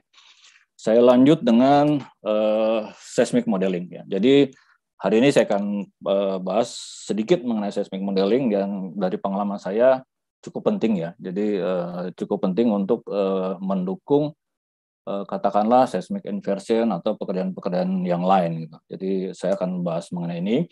Sebelum saya mulai ada satu artikel di Geofisik cukup bagus ya walaupun sudah lama tahun 2005 jadi dia membahas uh, Pak Michael S. King itu dia mm, menyajikan perkembangan rock physics selama 50 tahun ya. Jadi uh, ini dari perspektif dia. Jadi kalau Anda mau baca silakan. Oke, kemudian uh, saya kutip lagi yang dari slide-nya Bu Putri, uh, ada tiga hal sebetulnya yang perlu di diadres saat kita menerapkan menggunakan rock physics ya. Yang pertama adalah uh, temukan masalah, kemudian buat formulasinya, kemudian uh, cari satu teori yang pas untuk menyelesaikannya. Kemudian mungkin saran adalah untuk rock fisik memang ke, kita nggak bisa hanya klik the button ya, uh, tapi kita harus juga menguasai fisika dan matematika. Kemudian jangan berhenti berpikir dan bertanya. Nah, bertanya, berpikir dan bertanya ini adalah pengalaman yang saya share dalam uh, seismic pekerjaan modeling saya. Ya. Nah, mungkin sejarah reservoir characterization yang kita tahu sangat terkait dengan aerofisik. Eh, kalau kita lihat ada cukup panjang ya. Jadi seismik zaman dulu hanya untuk struktur, kemudian untuk litologi interpretation orang mulai menggunakan seismic attribute ya. Kemudian ada EVO, eh, interpretasi fluid tapi secara kualitatif. Ya. Kemudian seismic inversion, awalnya masih eh, litologi, ya, jadi hanya AI ya. Kemudian muncul elastic impedance uh, oleh Pak Konoli dan teman-teman ya. Kemudian muncul simultaneous inversion, ini uh, motornya dulu uh, Jason ya, guru Jason. Kemudian geostatistik dan sekarang ada machine learning ya dan sebagainya. Jadi bermacam-macam metode. Jadi uh, semakin canggih saja metodenya ya. Oke, uh, untuk seismic modeling forward ini adalah salah satu uh, kartun ya yang sering digunakan oleh mahasiswa. Prinsipnya adalah kita membuat seismic sintetik ya dari model bumi kita dan wavelet. Nah, wavelet kita ini bisa wavelet yang kita model atau kita ekstrak sebelumnya dari suatu lapangan. Nah, biasanya pekerjaan rock fisik itu bekerja ada di sini ya. Jadi dia ada di bagian earth ini. Jadi petrofisik eh, petrofisik itu dia melakukan analisis analisis reservoir reservoir properties. Jadi eh, gamma ray dan sebagainya itu kita golongkan sebagai reservoir eh, properties. Nah, kalau rock rock properties itu ada bagian di dalam rock fisik. Ya. Nah, rock fisik ini biasanya digunakan untuk uh, kita meng log kita. Jadi uh, tadi disebut Bu Putri ada bound macam-macam ya. Jadi ada ada bound ya. Nah, kalau log kita di luar bound itu biasanya kita bisa bisa questioning dan sebagainya ya. Jadi uh, rock fisik itu biasa di, dilakukan juga untuk uh, meng log ya. Jadi uh, semacam uh, QC tool Kemudian sering digunakan untuk log log modeling. Jadi ada misalnya ada uh, log yang hilang atau log yang yang tidak lengkap. Biasanya kita bisa mengcreate dari log-log yang lain ya. Kemudian yang sering digunakan dan uh, apa uh, cukup cukup memberikan uh, informasi tambahan adalah yang namanya substitusi uh, fluida. Jadi misalnya kita bor satu field kemudian uh, sumbernya dry dan mungkin kita berpikir wah ini mungkin salah lihat lihat seismik dan sebagainya ya. Uh, coba kita cari lagi di mana gitu. Nah waktu kita bilang itu maka yang terpikir adalah kita membuat uh, fluid substitution di mana uh, sumur yang yang tadinya dry itu kita ganti dengan fluida ya. Dengan gas misalnya. Kemudian kita amati data data data sintetik seismiknya untuk mencari di area kita itu apakah ada area yang uh, berisi gas ya. Jadi kurang lebih seperti itu. Nah, jadi rock fisik itu intinya adalah kalau kita bicara rock fisik itu simpel saja. Tujuannya adalah menghasilkan density, VP dan VS. Karena ketiga hal ini bisa digunakan untuk menghasilkan reflectivity ya. Nah, reflectivity ini kalau kita konvolusikan dengan wavelet hasilnya seismik. Nah, reflectivity ini bisa macam-macam, ada Aki Richard, ada Sui, ada Knot Supritz dan sebagainya. Umumnya untuk EVO digunakan uh, Aki Richard ya. Uh, awal-awal memang masih Sui, tapi belakangan untuk inversion uh, eh, EVO itu menggunakan Aki Richard. Nah, rock physics ini biasanya digunakan untuk cross analisis. Biasanya kita melakukan uh, cross plot analisis, mencoba melihat relasi antara dua parameter atau tiga parameter dan sebagainya. Jadi misalnya uh, kita ingin mengubah density dan uh, misalnya VP menjadi katakanlah log yang lain, misalnya gamma ray ya. Nah kita melihat dari cross plot analisis apakah ada relasi yang bagus, yang korelasinya bagus, yang kemudian bisa kita gunakan untuk menghitung reservoir properties. Jadi seismic inversion itu hanya menghasilkan uh, rock physics yaitu density, VP dan VS. Nah, biasanya kita mencoba menerjemahkan menjadi reservoir properties, katakanlah uh, ya porositas ya. Jadi umumnya itu kalau kita mau menghitung cadangan selalu basicnya ke situ ya, ada V-clay, ada porosity dan syukur-syukur kita bisa menghitung water saturation dari dari dari seismic inversion. Nah, kemudian ada juga uh, digunakan untuk seismic modeling itu pasti ya uh, rock physics kemudian uh, terakhir adalah untuk uh, untuk seismic inversion. Ini adalah ultimate ultimate objektif lah. Jadi memang biasanya ke arah situ. Semua pekerjaan rock fisik mengarah ke inversi seismik. Ya. Ini saya cepat saja ini akhir cat persamaan yang sering digunakan. Jadi uh, mungkin Anda familiar dengan persamaan ini. Ya. Kemudian uh, ada yang namanya knot subridge ya. Knot subridge ini sebenarnya persamaan awal dari uh, relasi antara amplitudo dan offset ya.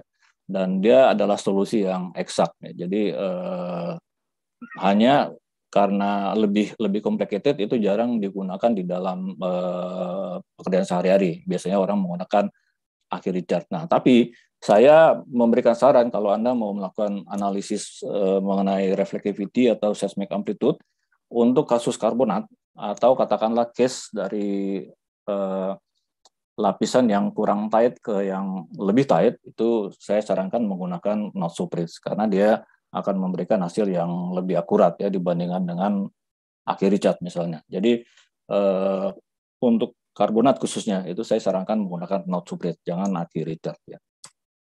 Ini proses yang uh, standar kita lakukan. Tadi ada slide Bu Putri juga. Biasanya kita mulai dengan petrophysics, ada log dan sebagainya. Kemudian kita melakukan rock physics. Uh, kemudian rock physics ini ditambah dengan seismik, tambah interpretasi, tambah velog, tambah informasi yang lain. Kita melakukan yang namanya reservoir characterization. Nah, uh, dulu waktu saya masih bekerja tuh ada semacam uh, rule of thumb ya. Jadi kalau Petrofisik kita akurat 90%, rock fisik kita 90% akurat, reservoir katastrofik 80%, maka hasil air kita itu adalah hanya 65% ya. Tapi eh, harap diingat bahwa ini dalam kalau kita berbicara mengenai rock apa rock property karena dalam banyak kasus misalnya kita yang menjadi reservoir, reservoirnya ketemu ya. Jadi sukses, tapi untuk eh, rock fisiknya mungkin enggak nggak seakurat yang yang kita inginkan gitu. Jadi mungkin hanya 65%. Jadi memang dalam pekerjaan eh, yang terangkai seperti ini, kita harus semaksimal mungkin di setiap di, di setiap segmen ya. Di di petrofisik usahakan sebaik-baiknya, rock fisik sebaik-baiknya, di reservoir characterization itu sebaik-baiknya termasuk di seismic interpretasi dan sebagainya ya.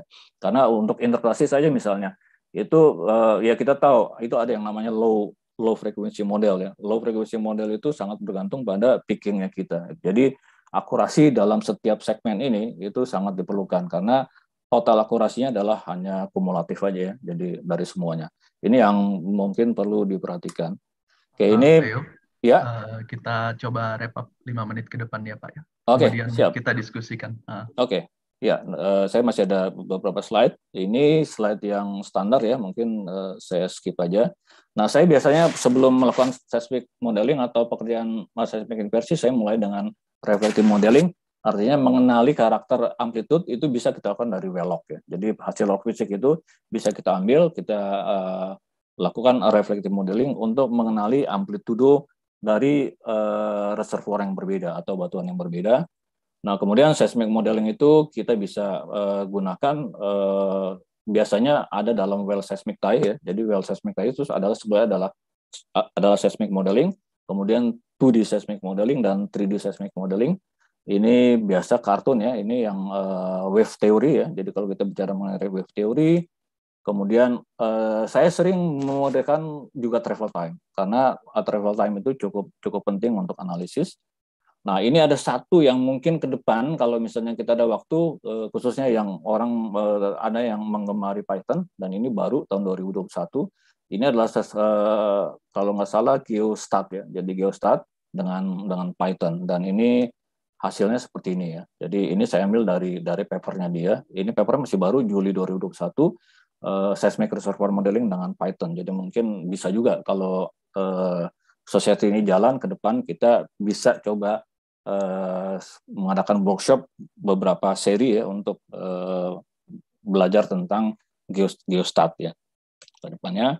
Nah ini seismic modeling uh, example yang pernah dilakukan oleh Pak Wawan Satriawan dan teman-teman ya. Jadi ini intinya adalah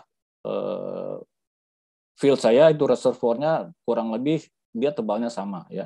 Tapi amplitudenya berubah secara lateral. Jadi waktu itu untuk memahami ini mereka melakukan seismic inversi, tapi sebelumnya itu mereka melakukan melakukan seismic modeling ya. Jadi mereka melakukan seismic modeling ini simbol saja. Jadi modelnya cukup eh, dua lapis, ada shell dan sand, kemudian shellnya mendebal dan seterusnya, kemudian dilihat responnya ya. Jadi ada near stack dan far stack dan sebagainya.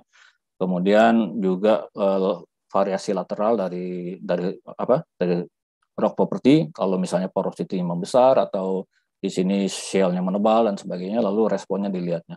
Karakter-karakter ini sebenarnya menjadi semacam pengetahuan awal sehingga waktu running inversinya kita bisa mencoba memahami dengan lebih cepat ya. Jadi seperti itu dan memang hasil inversinya itu kalau yang saya dengar ceritain itu mereka merubah skema uh, drilling dari dua platform jadi satu satu platform kalau nggak salah ya. Oke. Nah ini yang saya tampilkan di Hagi tahun lalu. Jadi ini berangkat dari kasus eh, salah satu perusahaan eh, mereka punya reef yang cukup tebal, ada gas tapi mereka nggak nggak bisa lihat di dalam di dalam data seismik. Lalu eh, pertanyaan ini coba dijawab dengan seismik seismik modeling ya.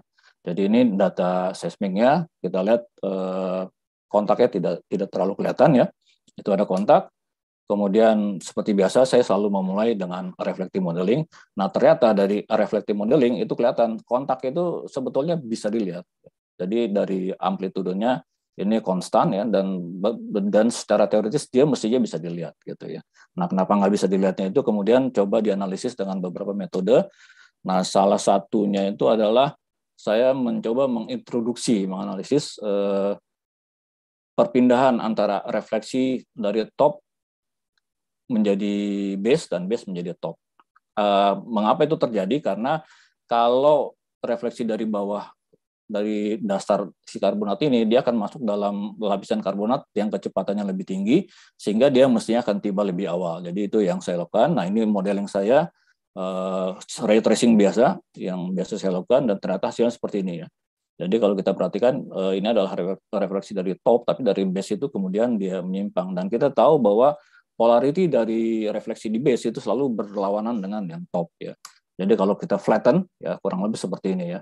Jadi kita bisa lihat katakanlah eh, dasarnya ini, misalnya dasarnya eh, gas gas karbonat itu mau saya kontaknya ya, ini kontaknya ini akan e, naik seperti ini kalau di flatten karena apa waktu dalam dalam seismic processing bagian ini akan di flatten seperti ini ya.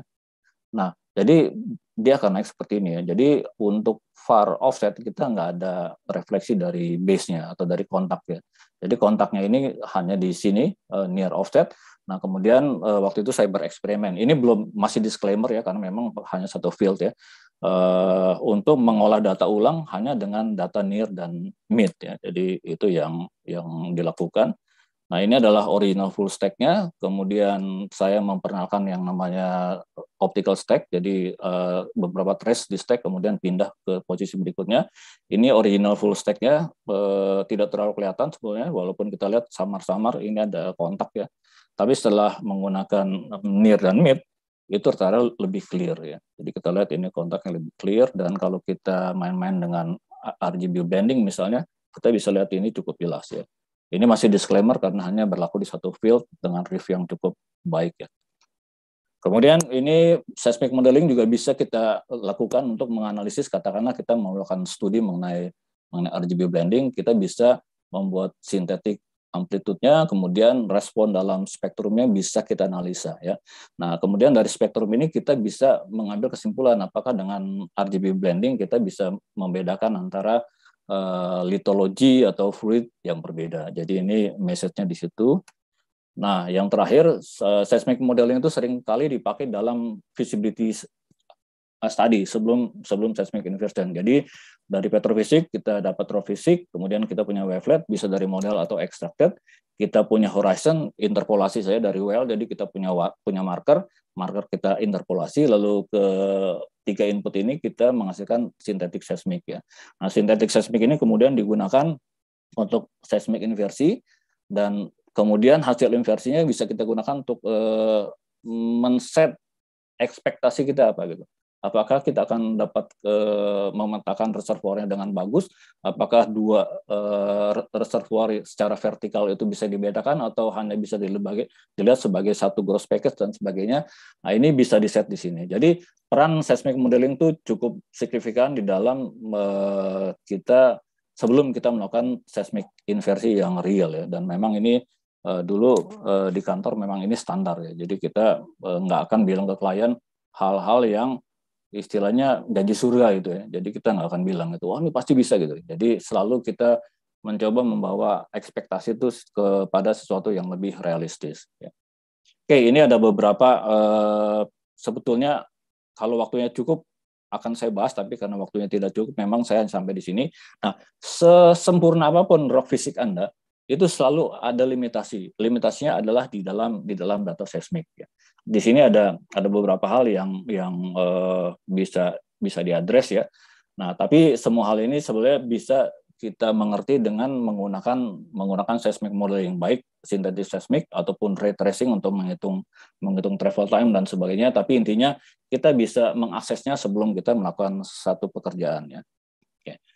Jadi kesimpulannya adalah seismic forward modeling dapat memberikan informasi yang berguna sebelum kita melakukan uh, advanced analysis uh, seperti reservoir characterization. Saya pikir itu saja mungkin dari saya sekedar penghangat uh, the return of IROC ya. Begitu saja Pak. Baik, terima kasih.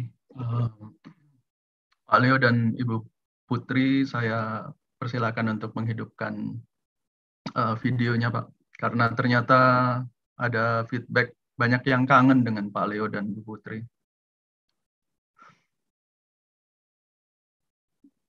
Siap, baik. Um, baik, kita kita memanfaatkan waktu yang tersisa. Uh, saya ingatkan kepada Bapak Ibu semua bahwa ini bukan satu-satunya presentasi yang akan kita lakukan ya sebagai komunitas. Kita akan uh, aktif begitu Eh, dan nanti akan kita sampaikan di media sosial maupun di presentasi-presentasi yang lainnya begitu. Jadi ini baru teaser saja menurut Ibu Putri. Uh, sebelum kita membahas, saya ingin juga mengapresiasi teman-teman yang ada di non migas. Apa yang kita sampaikan tadi mungkin uh, cukup banyak bobotnya di migas, tapi aplikasi rock physics tentu bisa kita lakukan di material science, di geomekanik begitu kita bisa melihat conductivity, atenuasi, uh, hidrogeofisika, kemudian geothermal mining, bahkan sekarang CCS begitu ya. Jadi tidak tidak terbatas pada migas saja. Ibu Putri dan Pak Leo, kita mulai bahas uh, ada beberapa pertanyaan di atas ya. Saya coba bacakan yang pertama datang dari uh, mohon maaf, saya coba cek. dari uh, Mas atau Bapak Muhammad Nur Ahsan Zakir. Uh, beliau mempertanyakan kurang lebih asumsi atau metode yang digunakan di rock fisik itu seperti apa jika ditinjau uh, dari sisi anisotropi seismik atau seismik anisotropi. Mudah-mudahan saya tidak salah membacakannya. Jadi saya ulangi lagi, beliau bertanya kira-kira asumsi dan metode seperti apa yang generik yang digunakan di dalam rock fisik atau yang bisa kita gunakan dalam rock fisik kalau kita menghadapi problem anisotropi lah begitu ya atau khususnya seismik anisotropi. Silakan Pak Leo atau Bu Putri, mungkin Bu Putri dulu ya Bu Putri. Ya, eh, terima kasih atas pertanyaannya. Tapi sebelumnya saya mau declare dulu loh. Ini di sini masih banyak yang lebih expert dari saya. Jadi guru-guru saya kayak kayak Pak Pak Frank. Jadi uh, apa namanya uh, kita diskusi ya. Jadi kalau ada masukan, ada input, monggo silakan saja. Nah untuk menjawab pertanyaan tadi, apa sih namanya? Biasanya itu anisotropi itu kita memakai inclusion model. Biasanya seperti itu. Which is ada yang namanya differential effective medium teori, orang bilang DEM gitu loh efektif medium atau efektif medium teori tetapi uh, apa namanya anisotropi itu biasanya di-apply di uh, apa namanya shell misalnya unconventional mostly mostly unconventional ataupun fracture basement karena dia melihat apa perbedaan antara VTI sama HTI gitu loh seperti itu. Nah, untuk anisotropi juga kita butuh data, jadi nggak hanya sesimpel itu, butuh data. Biasanya kita butuh ada namanya shear wave. Shear wave itu ada ada yang fast, ada yang slow. Jadi kita butuh dua itu untuk comparison karena yang salah satu yang slow sama yang fast itu akan meng, eh, me, apa menderive VTI sama HTI-nya kembali seperti itu. Nanti kita masukkan ke inclusion model. Kira-kira seperti itu. Eh, kira-kira mengerti nggak ya? Kira-kira seperti itu sih. Mudah-mudahan, mudah-mudahan Pak yang bertanya uh, silakan kalau mau bertanya lagi ya. Kalau Pak Leo ada insight Pak Leo silakan mengenai anisotropi dan apa kira-kira asumsi dan metode di dalam konteks rock fisik yang bisa kita gunakan untuk memanage-nya lah begitu ya.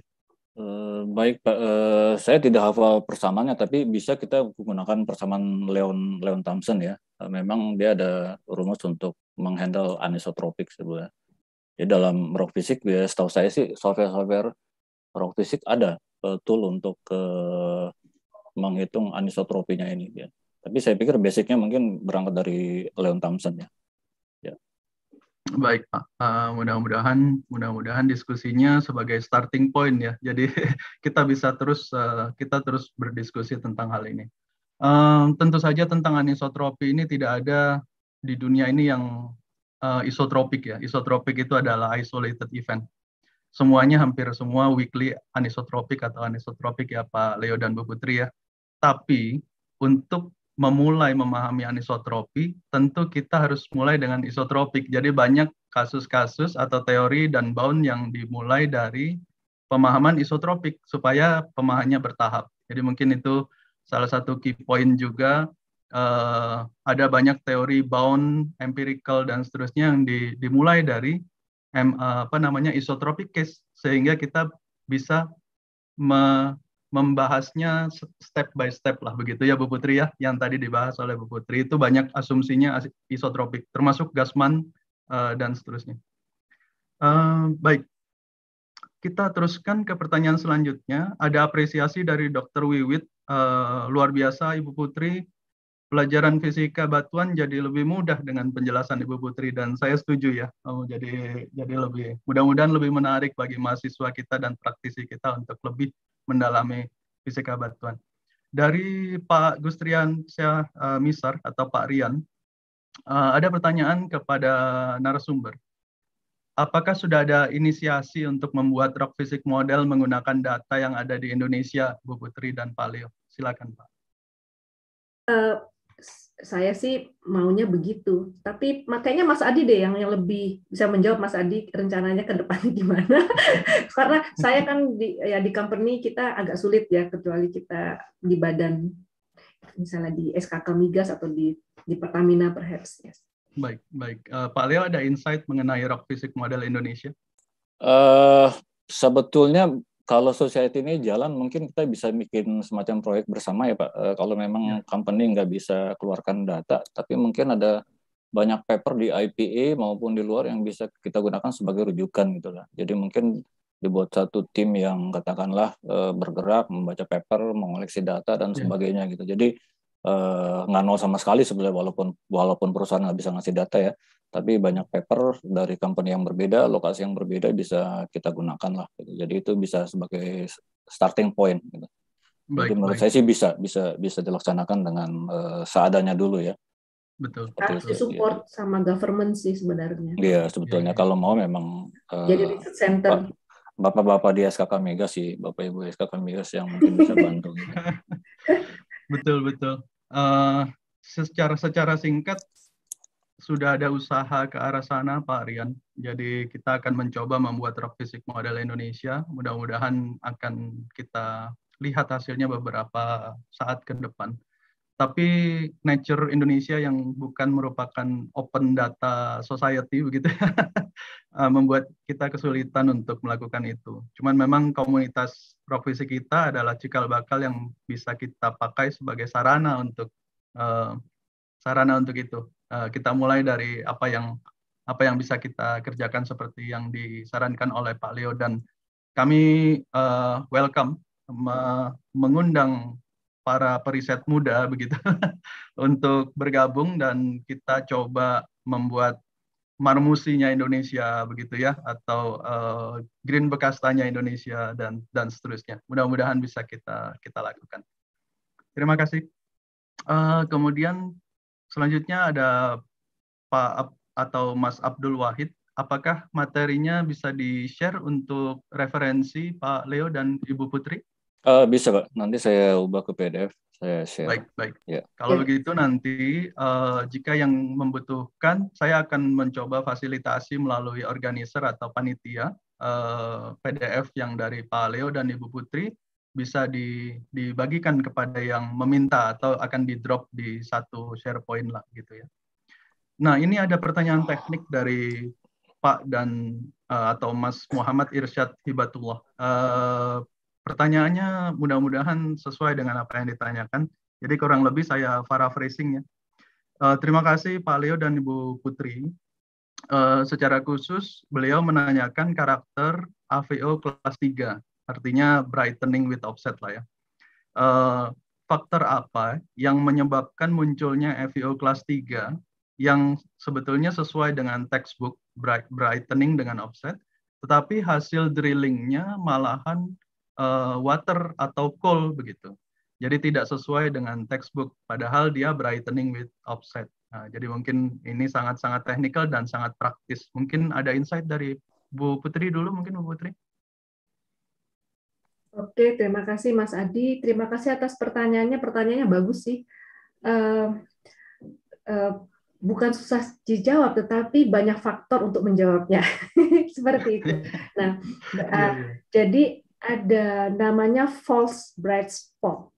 Jadi hmm. gitu ya. Nah, mungkin yang diketemukan itu false bright spot. Tapi idealnya, misalnya kalau kita ngomong textbook, itu biasanya uh, FO kelas 3 itu sangat bekerja dengan baik, kita ngomong ideal case ya, di dalam plastik sedimen. Di mana dia apa namanya uh, gini, yang harus diingat adalah yang kita lihat FVO itu sebenarnya kita melihat interface di top di top suatu reservoir yang kita lihat yang tadi Pak Cleo sudah bilang kan uh, reflectivity lah. Jadi uh, pada saat di mana batuan tersebut mempunyai kontras yang sangat besar, dengan top sama base-nya, di situlah terjadinya uh, apa namanya brightening seperti itu. Nah, yang ideal yang kita lihat uh, FPLS 3 itu dia shell-nya, yang shell yang encasing shell yang between uh, above and below-nya itu dia lebih biasanya lebih soft dibandingkan dengan uh, reservoirnya sendiri. Seperti itu ya. Pertama dia soft. Uh, soft dalam arti reservoir soft terhadap beda terhadap uh, dengan yang atas sama bawahnya. Nah, kedua, dia terisi sama gas.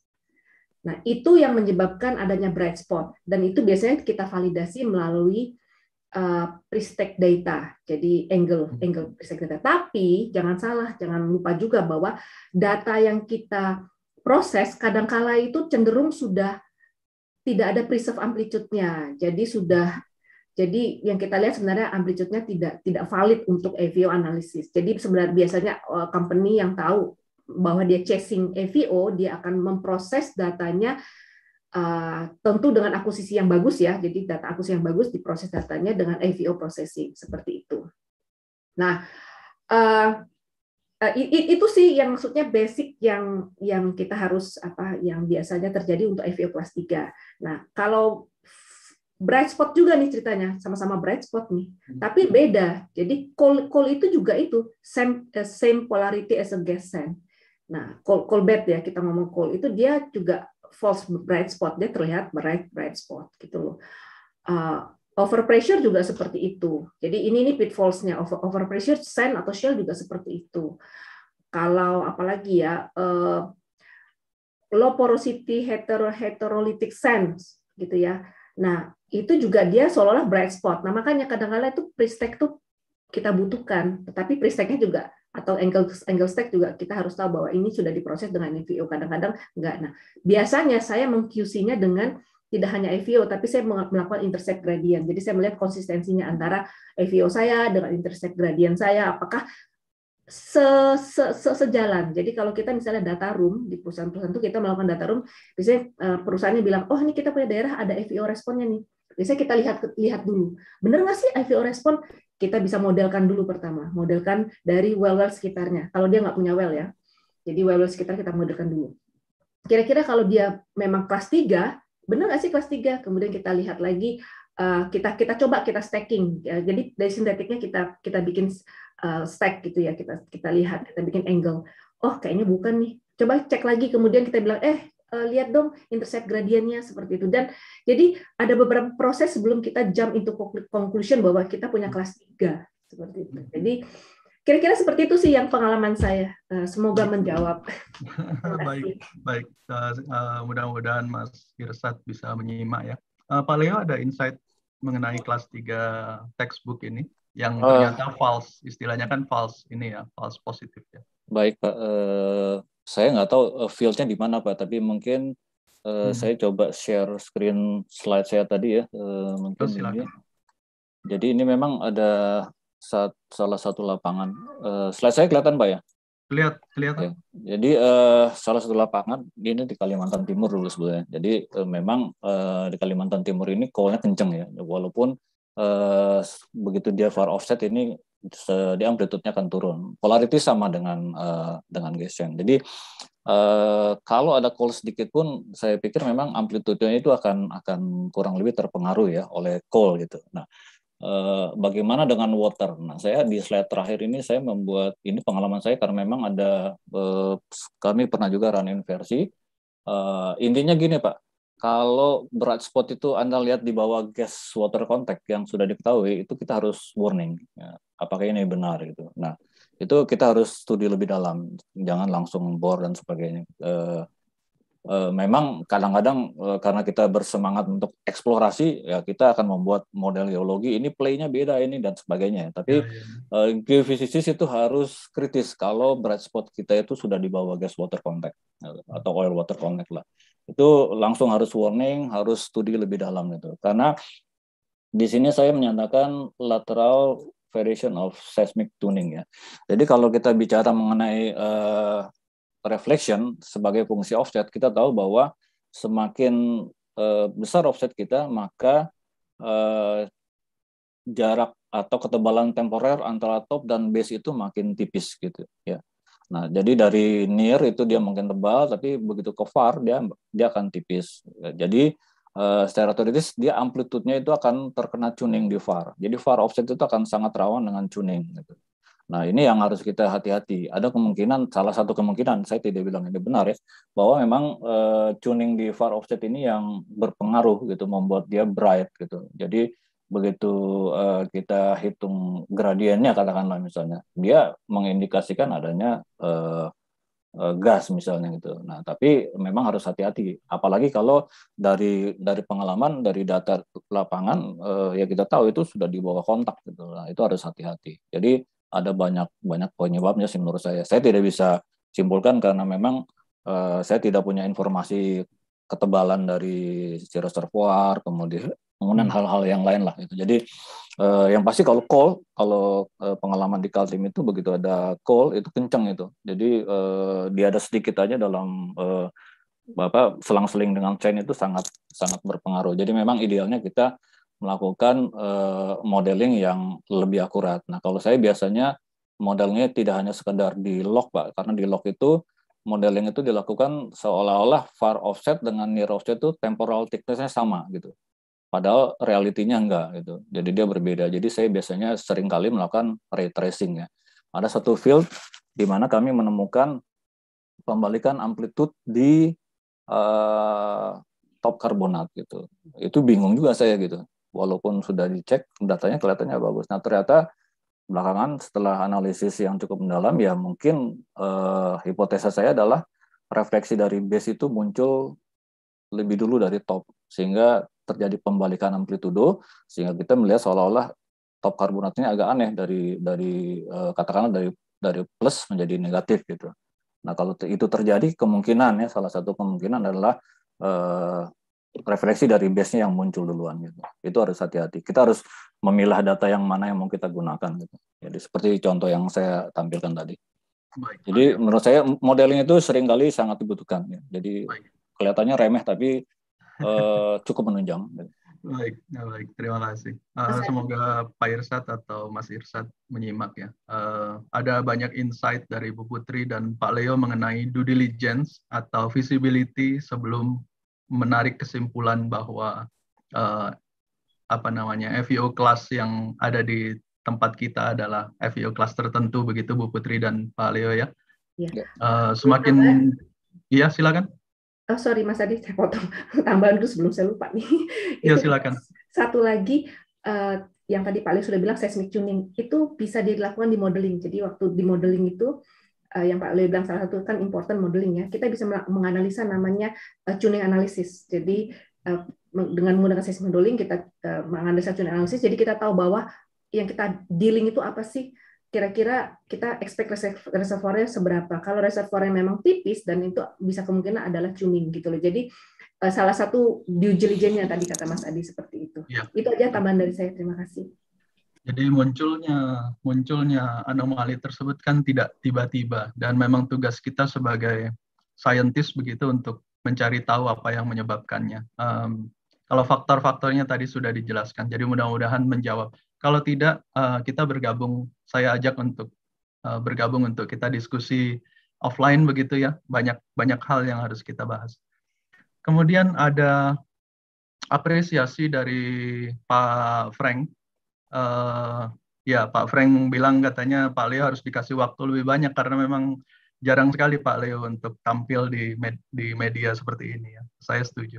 Uh, mudah-mudahan saya memberikan waktu yang lebih banyak untuk Pak Leo dari Pak Frank. Salam Mbak, salam sehat selalu iya, Pak Frank. Dari teman Pak, lama ini, teman lama. Baik, dari Pak Trisakti uh, menyampaikan uh, aspirasi yang sama bahwa kehadiran Pak Leo dan Ibu Putri sangat sangat ditunggu nanti untuk baik saat ini maupun ke depannya. Pak Frank ini bertanya ada tiga tiga hal yang ditanyakan oleh Pak Frank mungkin waktu kita uh, saya cek ya masih masih oke okay lah ya Pak Frank ya. Silakan dijawab Ibu Putri dan Pak, Pak Leo. Pertanyaan pertama, eh, kira-kira apa saja kegagalan yang sering dihadapi para praktisi sehingga kita sering mendengar istilah rock physics approach uh, tidak bekerja di area kita begitu ya atau doesn't doesn't really work in in our area padahal kontras property yang kita tengarai di data sumur uh, terlihat cukup membedakan batuan atau litologi atau fluida yang yang uh, mungkin bisa kita bedakan. Jadi saya ulangi lagi, kira-kira kegagalan apa yang uh, dihadapi oleh para praktisi yang sering melakukan uh, rock physics analysis, uh, tetapi kemudian mereka menyatakan bahwa rock physics doesn't work di areanya begitu ya. Padahal dari datanya terlihat bisa membedakan litologi atau fluida gitu kira-kira pertanyaannya mudah-mudahan bisa ditangkap. Silakan Ibu Putri atau Pak Leo bisa membahasnya. Bu Putri duluan. Pak Leo mau duluan nggak apa-apa? Uh, Oke, okay. mungkin saya kembali ke slide lagi karena memang uh, slide saya memang saya siapkan ya. Uh, mungkin saya tampilkan yang ini. Oke, jadi sebetulnya dalam uh, pekerjaan kita setelah petrofisik, krofisik, itu salah satu yang kita lakukan setelah rock fisik adalah melakukan cross plot analysis. Nah, cross plot analysis ini ini dilakukan dalam dua resolusi. Yang pertama log resolution, yang kedua seismic resolution. Nah, log resolution ini itu detail, Jadi resolusi tinggi sehingga biasanya sih hasilnya memuaskan. Jadi misalnya kita melakukan tes tes poligon. Jadi kita buat buat poligon, kemudian kita bilang oh ini sennya kami gitu kan. Nah biasanya itu bekerja sempurna karena apa? Karena resolusinya log. Gitu. Tetapi yang harus diperhatikan bahwa kalau kita menggunakan data seismik, log ini harus didisplay dalam di dalam seismic resolution. Nah ini eh, resolusi yang log yang tadinya tajam itu menjadi turun jadi katakanlah dua sen menjadi tidak tidak terlihat sebagai dua sen atau mungkin kalau kita mencoba menerapkan uh, poligon yang sama sen kita hilang atau fluida kita hilang gitu. Jadi ini kita lakukan dalam body body capture analysis gitu atau body body capture exercise. Jadi idealnya lah e, menurut saya yang baiknya adalah kita lakukan cross plot analysis di dalam resolusi seismik. Jadi kita bawa ke reality bahwa resolusi kita log kita tuh rendah kalau kita ambil dari dari seismik. Nah ini nanti di, di diuji coba aja ya. Kalau biasanya sih yang bisa dilihat itu lebih sedikit daripada yang e, bisa kita ambil dari log, log log resolution. Nah kalau di log sini sudah berhasil, kita coba di sini proses yang berikutnya ini yang yang di bawahnya gitu, yang e, sintesis seismik, kemudian kita inversi, kemudian e, kita bisa lihat apakah memang kita bisa bisa capture ya. Nah, kalaupun memang tidak terlihat, uh, itu ada ada hal-hal yang harus kita lihat. Jadi saya nggak bisa uh, kasih gambaran kalau mungkin nggak lihat case-nya, pak ya. Jadi uh, intinya bisa bisa kita analisis lah. Tapi memang ada hal-hal uh, yang harus kita perhatikan sebelum kita lakukan uh, inversion dan sebagainya ya. Baik, baik. Semua bisa dilakukan. Ibu, Ibu Putri ada tambahan? Um, kalau dari pengalaman saya untuk menjawab pertanyaannya Pak Frank ya nomor satu ya Pak Frank, eh nomor satu bukan? Nomor satu betul. Ya nomor satu. Um, biasanya itu karena pertama saya itu nggak ada kalibrasi, jadi kalibrasi data itu sangat penting menurut saya. Uh, without calibration itu itu dan rock physics itu sebenarnya juga tidak bisa stand alone. Jadi rock physics itu harus dikombin dengan dengan uh, apa namanya beberapa eh, QC tools gitu loh. Nah, contohnya yang tadi saya bilang salah satunya kalibrasi. Jadi um, apa namanya yang tadi saya bilang kadang-kadang kita bisa dapat false uh, false bright spot. Jadi kita harus punya beberapa QC tool ya, pre-stack data dan dan kebanyakan juga karena karena contohnya nggak usah jauh-jauh apa company itu biasanya kalau mau akuisisi akuisisi log waran log itu tuh dia nggak mau akuisisi apa share wave jadi biasanya yang diakuisisi itu tidak mau combo, tapi yang akuisisi itu yang cuma VP-nya doang gitu kan ya. Nah, kita kita pengen oh ya ini kayaknya ada IVO respon di sini nih. Lihat dari seismiknya nih. Oh, kemudian kita bilang, "Oke deh, kita buat aja deh VS-nya." Nah, itu link-linknya tuh panjang tuh ke bawah, ke bawah, ke bawah lagi. Yang saya tadi kasih lihat itu. Nah, itu salah satu kegagalan yang yang bisa jadi uh, false bright spot yang tadi saya udah jelaskan sebelumnya. Itu sih Pak Frank uh, dari pengalamanku untuk pertanyaan pertama lu ya. Thank you. Baik, baik. Terima kasih. Uh, kita akan move on ke pertanyaan kedua, tapi pertanyaan pertama saya kira mungkin bisa saya sum up bahwa kita punya workflow. Kadang-kadang kegagalan yang sering terjadi yang saya amati selama ini adalah kita jump to conclusion ya tidak tidak runut begitu workflow-nya. Workflow yang disampaikan oleh Pak Leo adalah uh, melakukan workflow dari well domain ke seismic domain yang sering kita miss begitu ya. Uh, padahal kita punya keterbatasan di seismic domain. Workflow yang disampaikan oleh Bu Putri adalah uh, kalibrasi, baik itu uh, seismik ke sumur maupun sumur ke sumur maupun antar elastic property.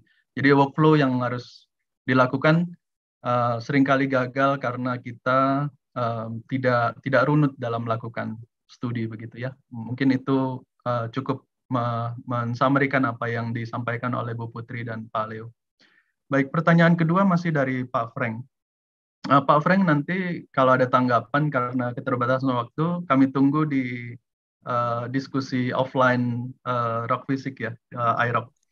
Uh, pertanyaan kedua dari Pak Frank, apakah ada perbedaan uh, pendekatan rock fisik untuk prospecting hidrokarbon dalam stage yang berbeda. Misalnya uh, pendekatan untuk eksplorasi berbeda, pendekatan development berbeda, pendekatan uh, production dan beyond berbeda begitu. Jadi kira-kira perbedaan kuncinya ada di mana? Mungkin itu maksud Pak Frank. Silakan Ibu Putri dan Pak Leo.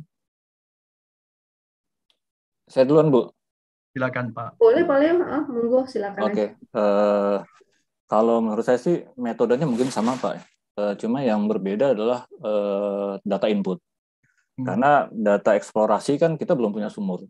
Hmm. Jadi mau nggak mau kita pakai sumur tetangga gitu ya. Sumur tetangga hmm. mudah-mudahan cocok juga dan sebagainya gitu. Jadi kalau tetangganya cuma katakanlah 5 kilo mungkin masih oke. Okay. Tapi dulu pernah ada proyek tetangga kami itu 200 km gitu kan. Nah, valid atau enggak gitu.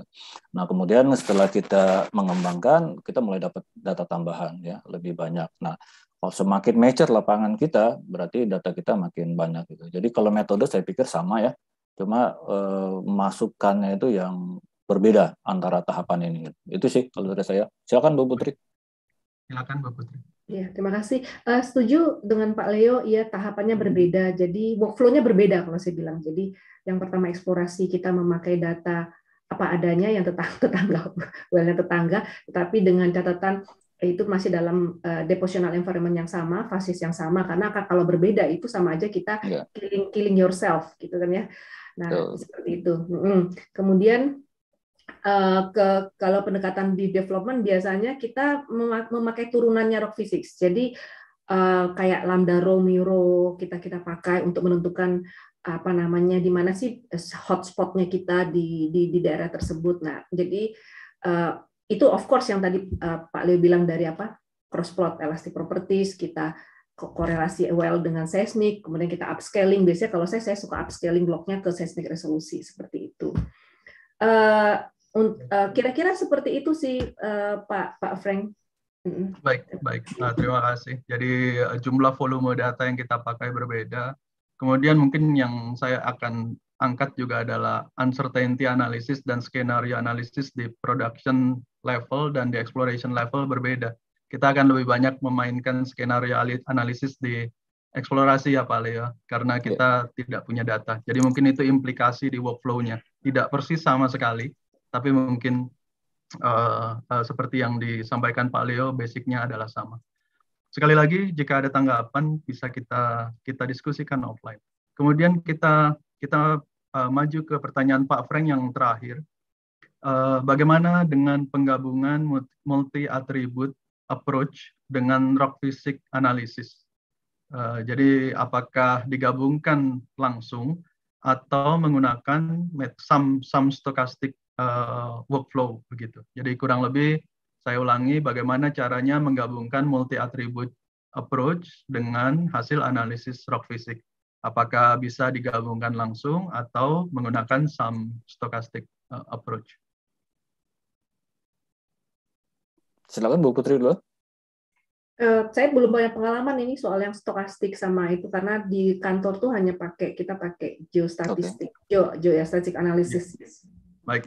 Silakan okay. Pak Leo. Kalau uh, ada, ada ini Oke, okay, jadi ini mungkin maksudnya multi multi atribut ya. Jadi uh, biasanya tuh memang dalam uh, pekerjaan reservoir characterization salah satulah penggunaan menurunkan log itu dari uh, kombinasi dari beberapa atribut yaitu lazim sih. Ya. Nah kalau saya sih uh, lihat so far sih oke, okay. cuma memang kalau saya sendiri pribadi melihat uh, harus hati-hati. Karena gini karena rock physics itu kan kita layer layer layer property pak. Jadi waktu kita lakukan rock physics analysis uh, kita lihat ke layernya ya. Tidak hanya di top and base tapi di layer ya nah atribut seismik itu diturunkan dari seismik yang kita sebut sebagai uh, interface property jadi dia hanya mengamati di top dan base jadi, atau batas antara uh, layer lah antara batuan gitu. Nah jadi memang dari sisi karakter berbeda, Pak sudah berbeda. Jadi memang uh, saya sih sering kali tidak tidak terlalu uh, uh, suka untuk melakukan multi attribute analisis. Saya lebih suka langsung ke seismic inversi karena itu fisikanya jelas. Jadi rock fisiknya jelas, artinya teorinya jelas gitu.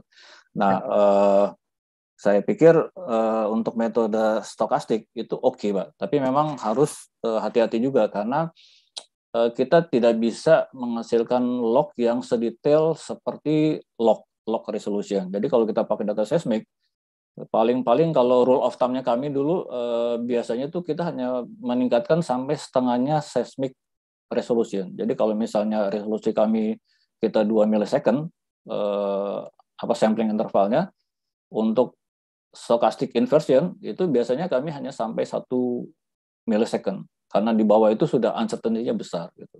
Karena apa? Seismik itu kan noise ya. Jadi agak agak riskan kalau kita bawa sampai resolusi setinggi-tingginya gitu. Dan memang untuk e, dari sisi komputasi pun dia akan makan waktu gitu. Jadi lebih lama gitu ya. Nah, jadi memang roll of thumb-nya kami itu istilahnya hanya sampai satu millisecond. Kadang-kadang ada klien yang minta itu lebih e, kecil lagi, katakanlah setengah millisecond cuma kita ya kasih tahu dampaknya sih gitu dan biasanya hanya setengah dari sampling interval yang ada gitu jadi Baik. realistis lah ya. Uh, terima kasih uh, Bapak Ibu atas pertanyaannya. Saya kira tidak ada lagi pertanyaan. Kalaupun ada, nanti mungkin kita bisa bahas di di uh, waktu yang lain karena ini tidak sekali lagi tidak one off begitu ya. Uh, ya. Izinkan saya untuk menutup um, diskusi teknis kita dengan beberapa key highlight, terutama untuk praktisi periset muda dan mahasiswa, bahwa problem reservoir kita semakin sulit. Pemahaman fundamental seperti rock fisik akan membantu kita melakukan karakterisasi dan identifikasi reservoir yang semakin sulit tadi akan lebih baik begitu, membantu pemerintah untuk mengidentifikasinya. Kemudian kembali ke basic science, uh, seperti rock fisik itu membuat kita berpikir selalu berpikir kritis, mempertanyakan teori dan seterusnya uh, di mana pun kita bekerja. Uh, selanjutnya highlight yang saya catat adalah alur kerja kuantitatif yang dijabarkan oleh Bu Putri dan Pak Leo, bukan presisi ya Pak Leo dan Bu Putri. Selalu ada uncertainty dan uncertainty itu harus kita uh, uh, kemukakan. Jadi ada terutama untuk riset muda dan mahasiswa yang ingin mendalami rock fisik, ada dua arah studi dalam disiplin rock fisik. Yang satu pengembangan teori-teori rock fisik yang sudah dijabarkan oleh Bu Putri tadi untuk reservoir-reservoir yang semakin ber, beragam. Yang kedua pengembangan aplikasi digital, machine learning, kemudian programming dan seterusnya uh, untuk optimalisasi work, workflow rock fisik yang sudah dijabarkan di presentasi Pak Leo tadi. Ada dua cabang itu yang menjadi uh, kunci pengembangan rock fisik ke depan yang bisa adik-adik mahasiswa untuk kembangkan atau riset uh, kembangkan begitu. Uh, terima kasih waktunya Pak Leo dan Ibu Putri. Mudah-mudahan uh, semua bermanfaat diskusi kita. Uh, mohon maaf jika ada kesalahan, kemudian ada kelebihan waktu dan seterusnya. Uh, saya kembalikan ke Ibu Lady. Silakan Ibu Lady. Ya, terima kasih Pak Adi Widiantoro yang sudah membantu acara diskusi webinar pada hari ini. Dan juga para pemateri yaitu Bapak Leonard dan Ibu Putri Wisman dengan materinya yang sangat menarik dan penyampaiannya yang sangat luar biasa. Semoga Bapak Ibu peserta webinar hari ini bisa uh, terjawab apa yang menjadi pertanyaannya. Ya, baik.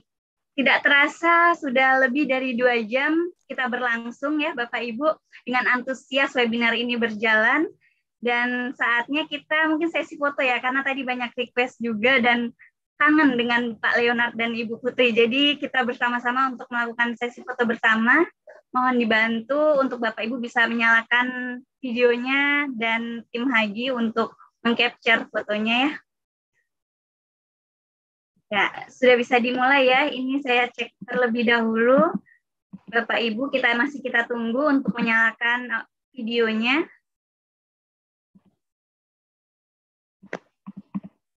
Oke, sudah banyak yang menyalakan ya. Mari kita uh, boleh dibantu untuk tim Haji kita capture di slide yang per pertama.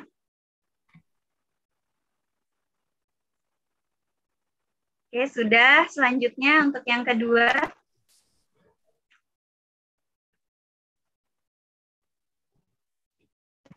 Ya, selanjutnya masih pasang dengan wajah senyum ya Bapak Ibu.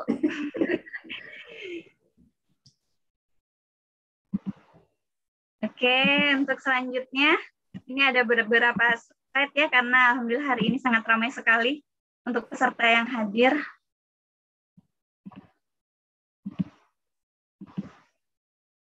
Oke.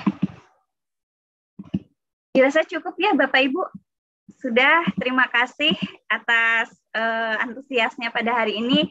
Dan juga sebelum kita menutup acara pada pagi hari ini, um, kami tidak bosan-bosannya mengingatkan kembali kepada uh, Bapak Ibu webinar yang sudah menghadiri webinar hari ini. Oh iya, jangan lupa untuk mengisi absen pada webinar hari ini. Dan juga kami mengingatkan uh, untuk Bapak Ibu yang belum tergabung dalam member haji, silahkan untuk mengunjungi website member haji di www.member.haji.org.id. Juga Bapak Ibu yang sudah menjadi anggota namun belum mengupdate, silahkan diupdate keanggotaannya. Karena dengan menjadi membership haji banyak keuntungan ataupun uh, fitur-fitur terintegrasi yang dapat Bapak Ibu akses di website haji seperti jurnal, jurnal haji, uh, haji akademi, yaitu salah satu sarana yang disediakan haji uh, bagi rekan-rekan yang geofisika untuk mendalami di bidangnya masing-masing. Juga terkait informasi PIT Haji maupun Joint Convention yang akan berlangsung, ada podcast haji dan e-book haji.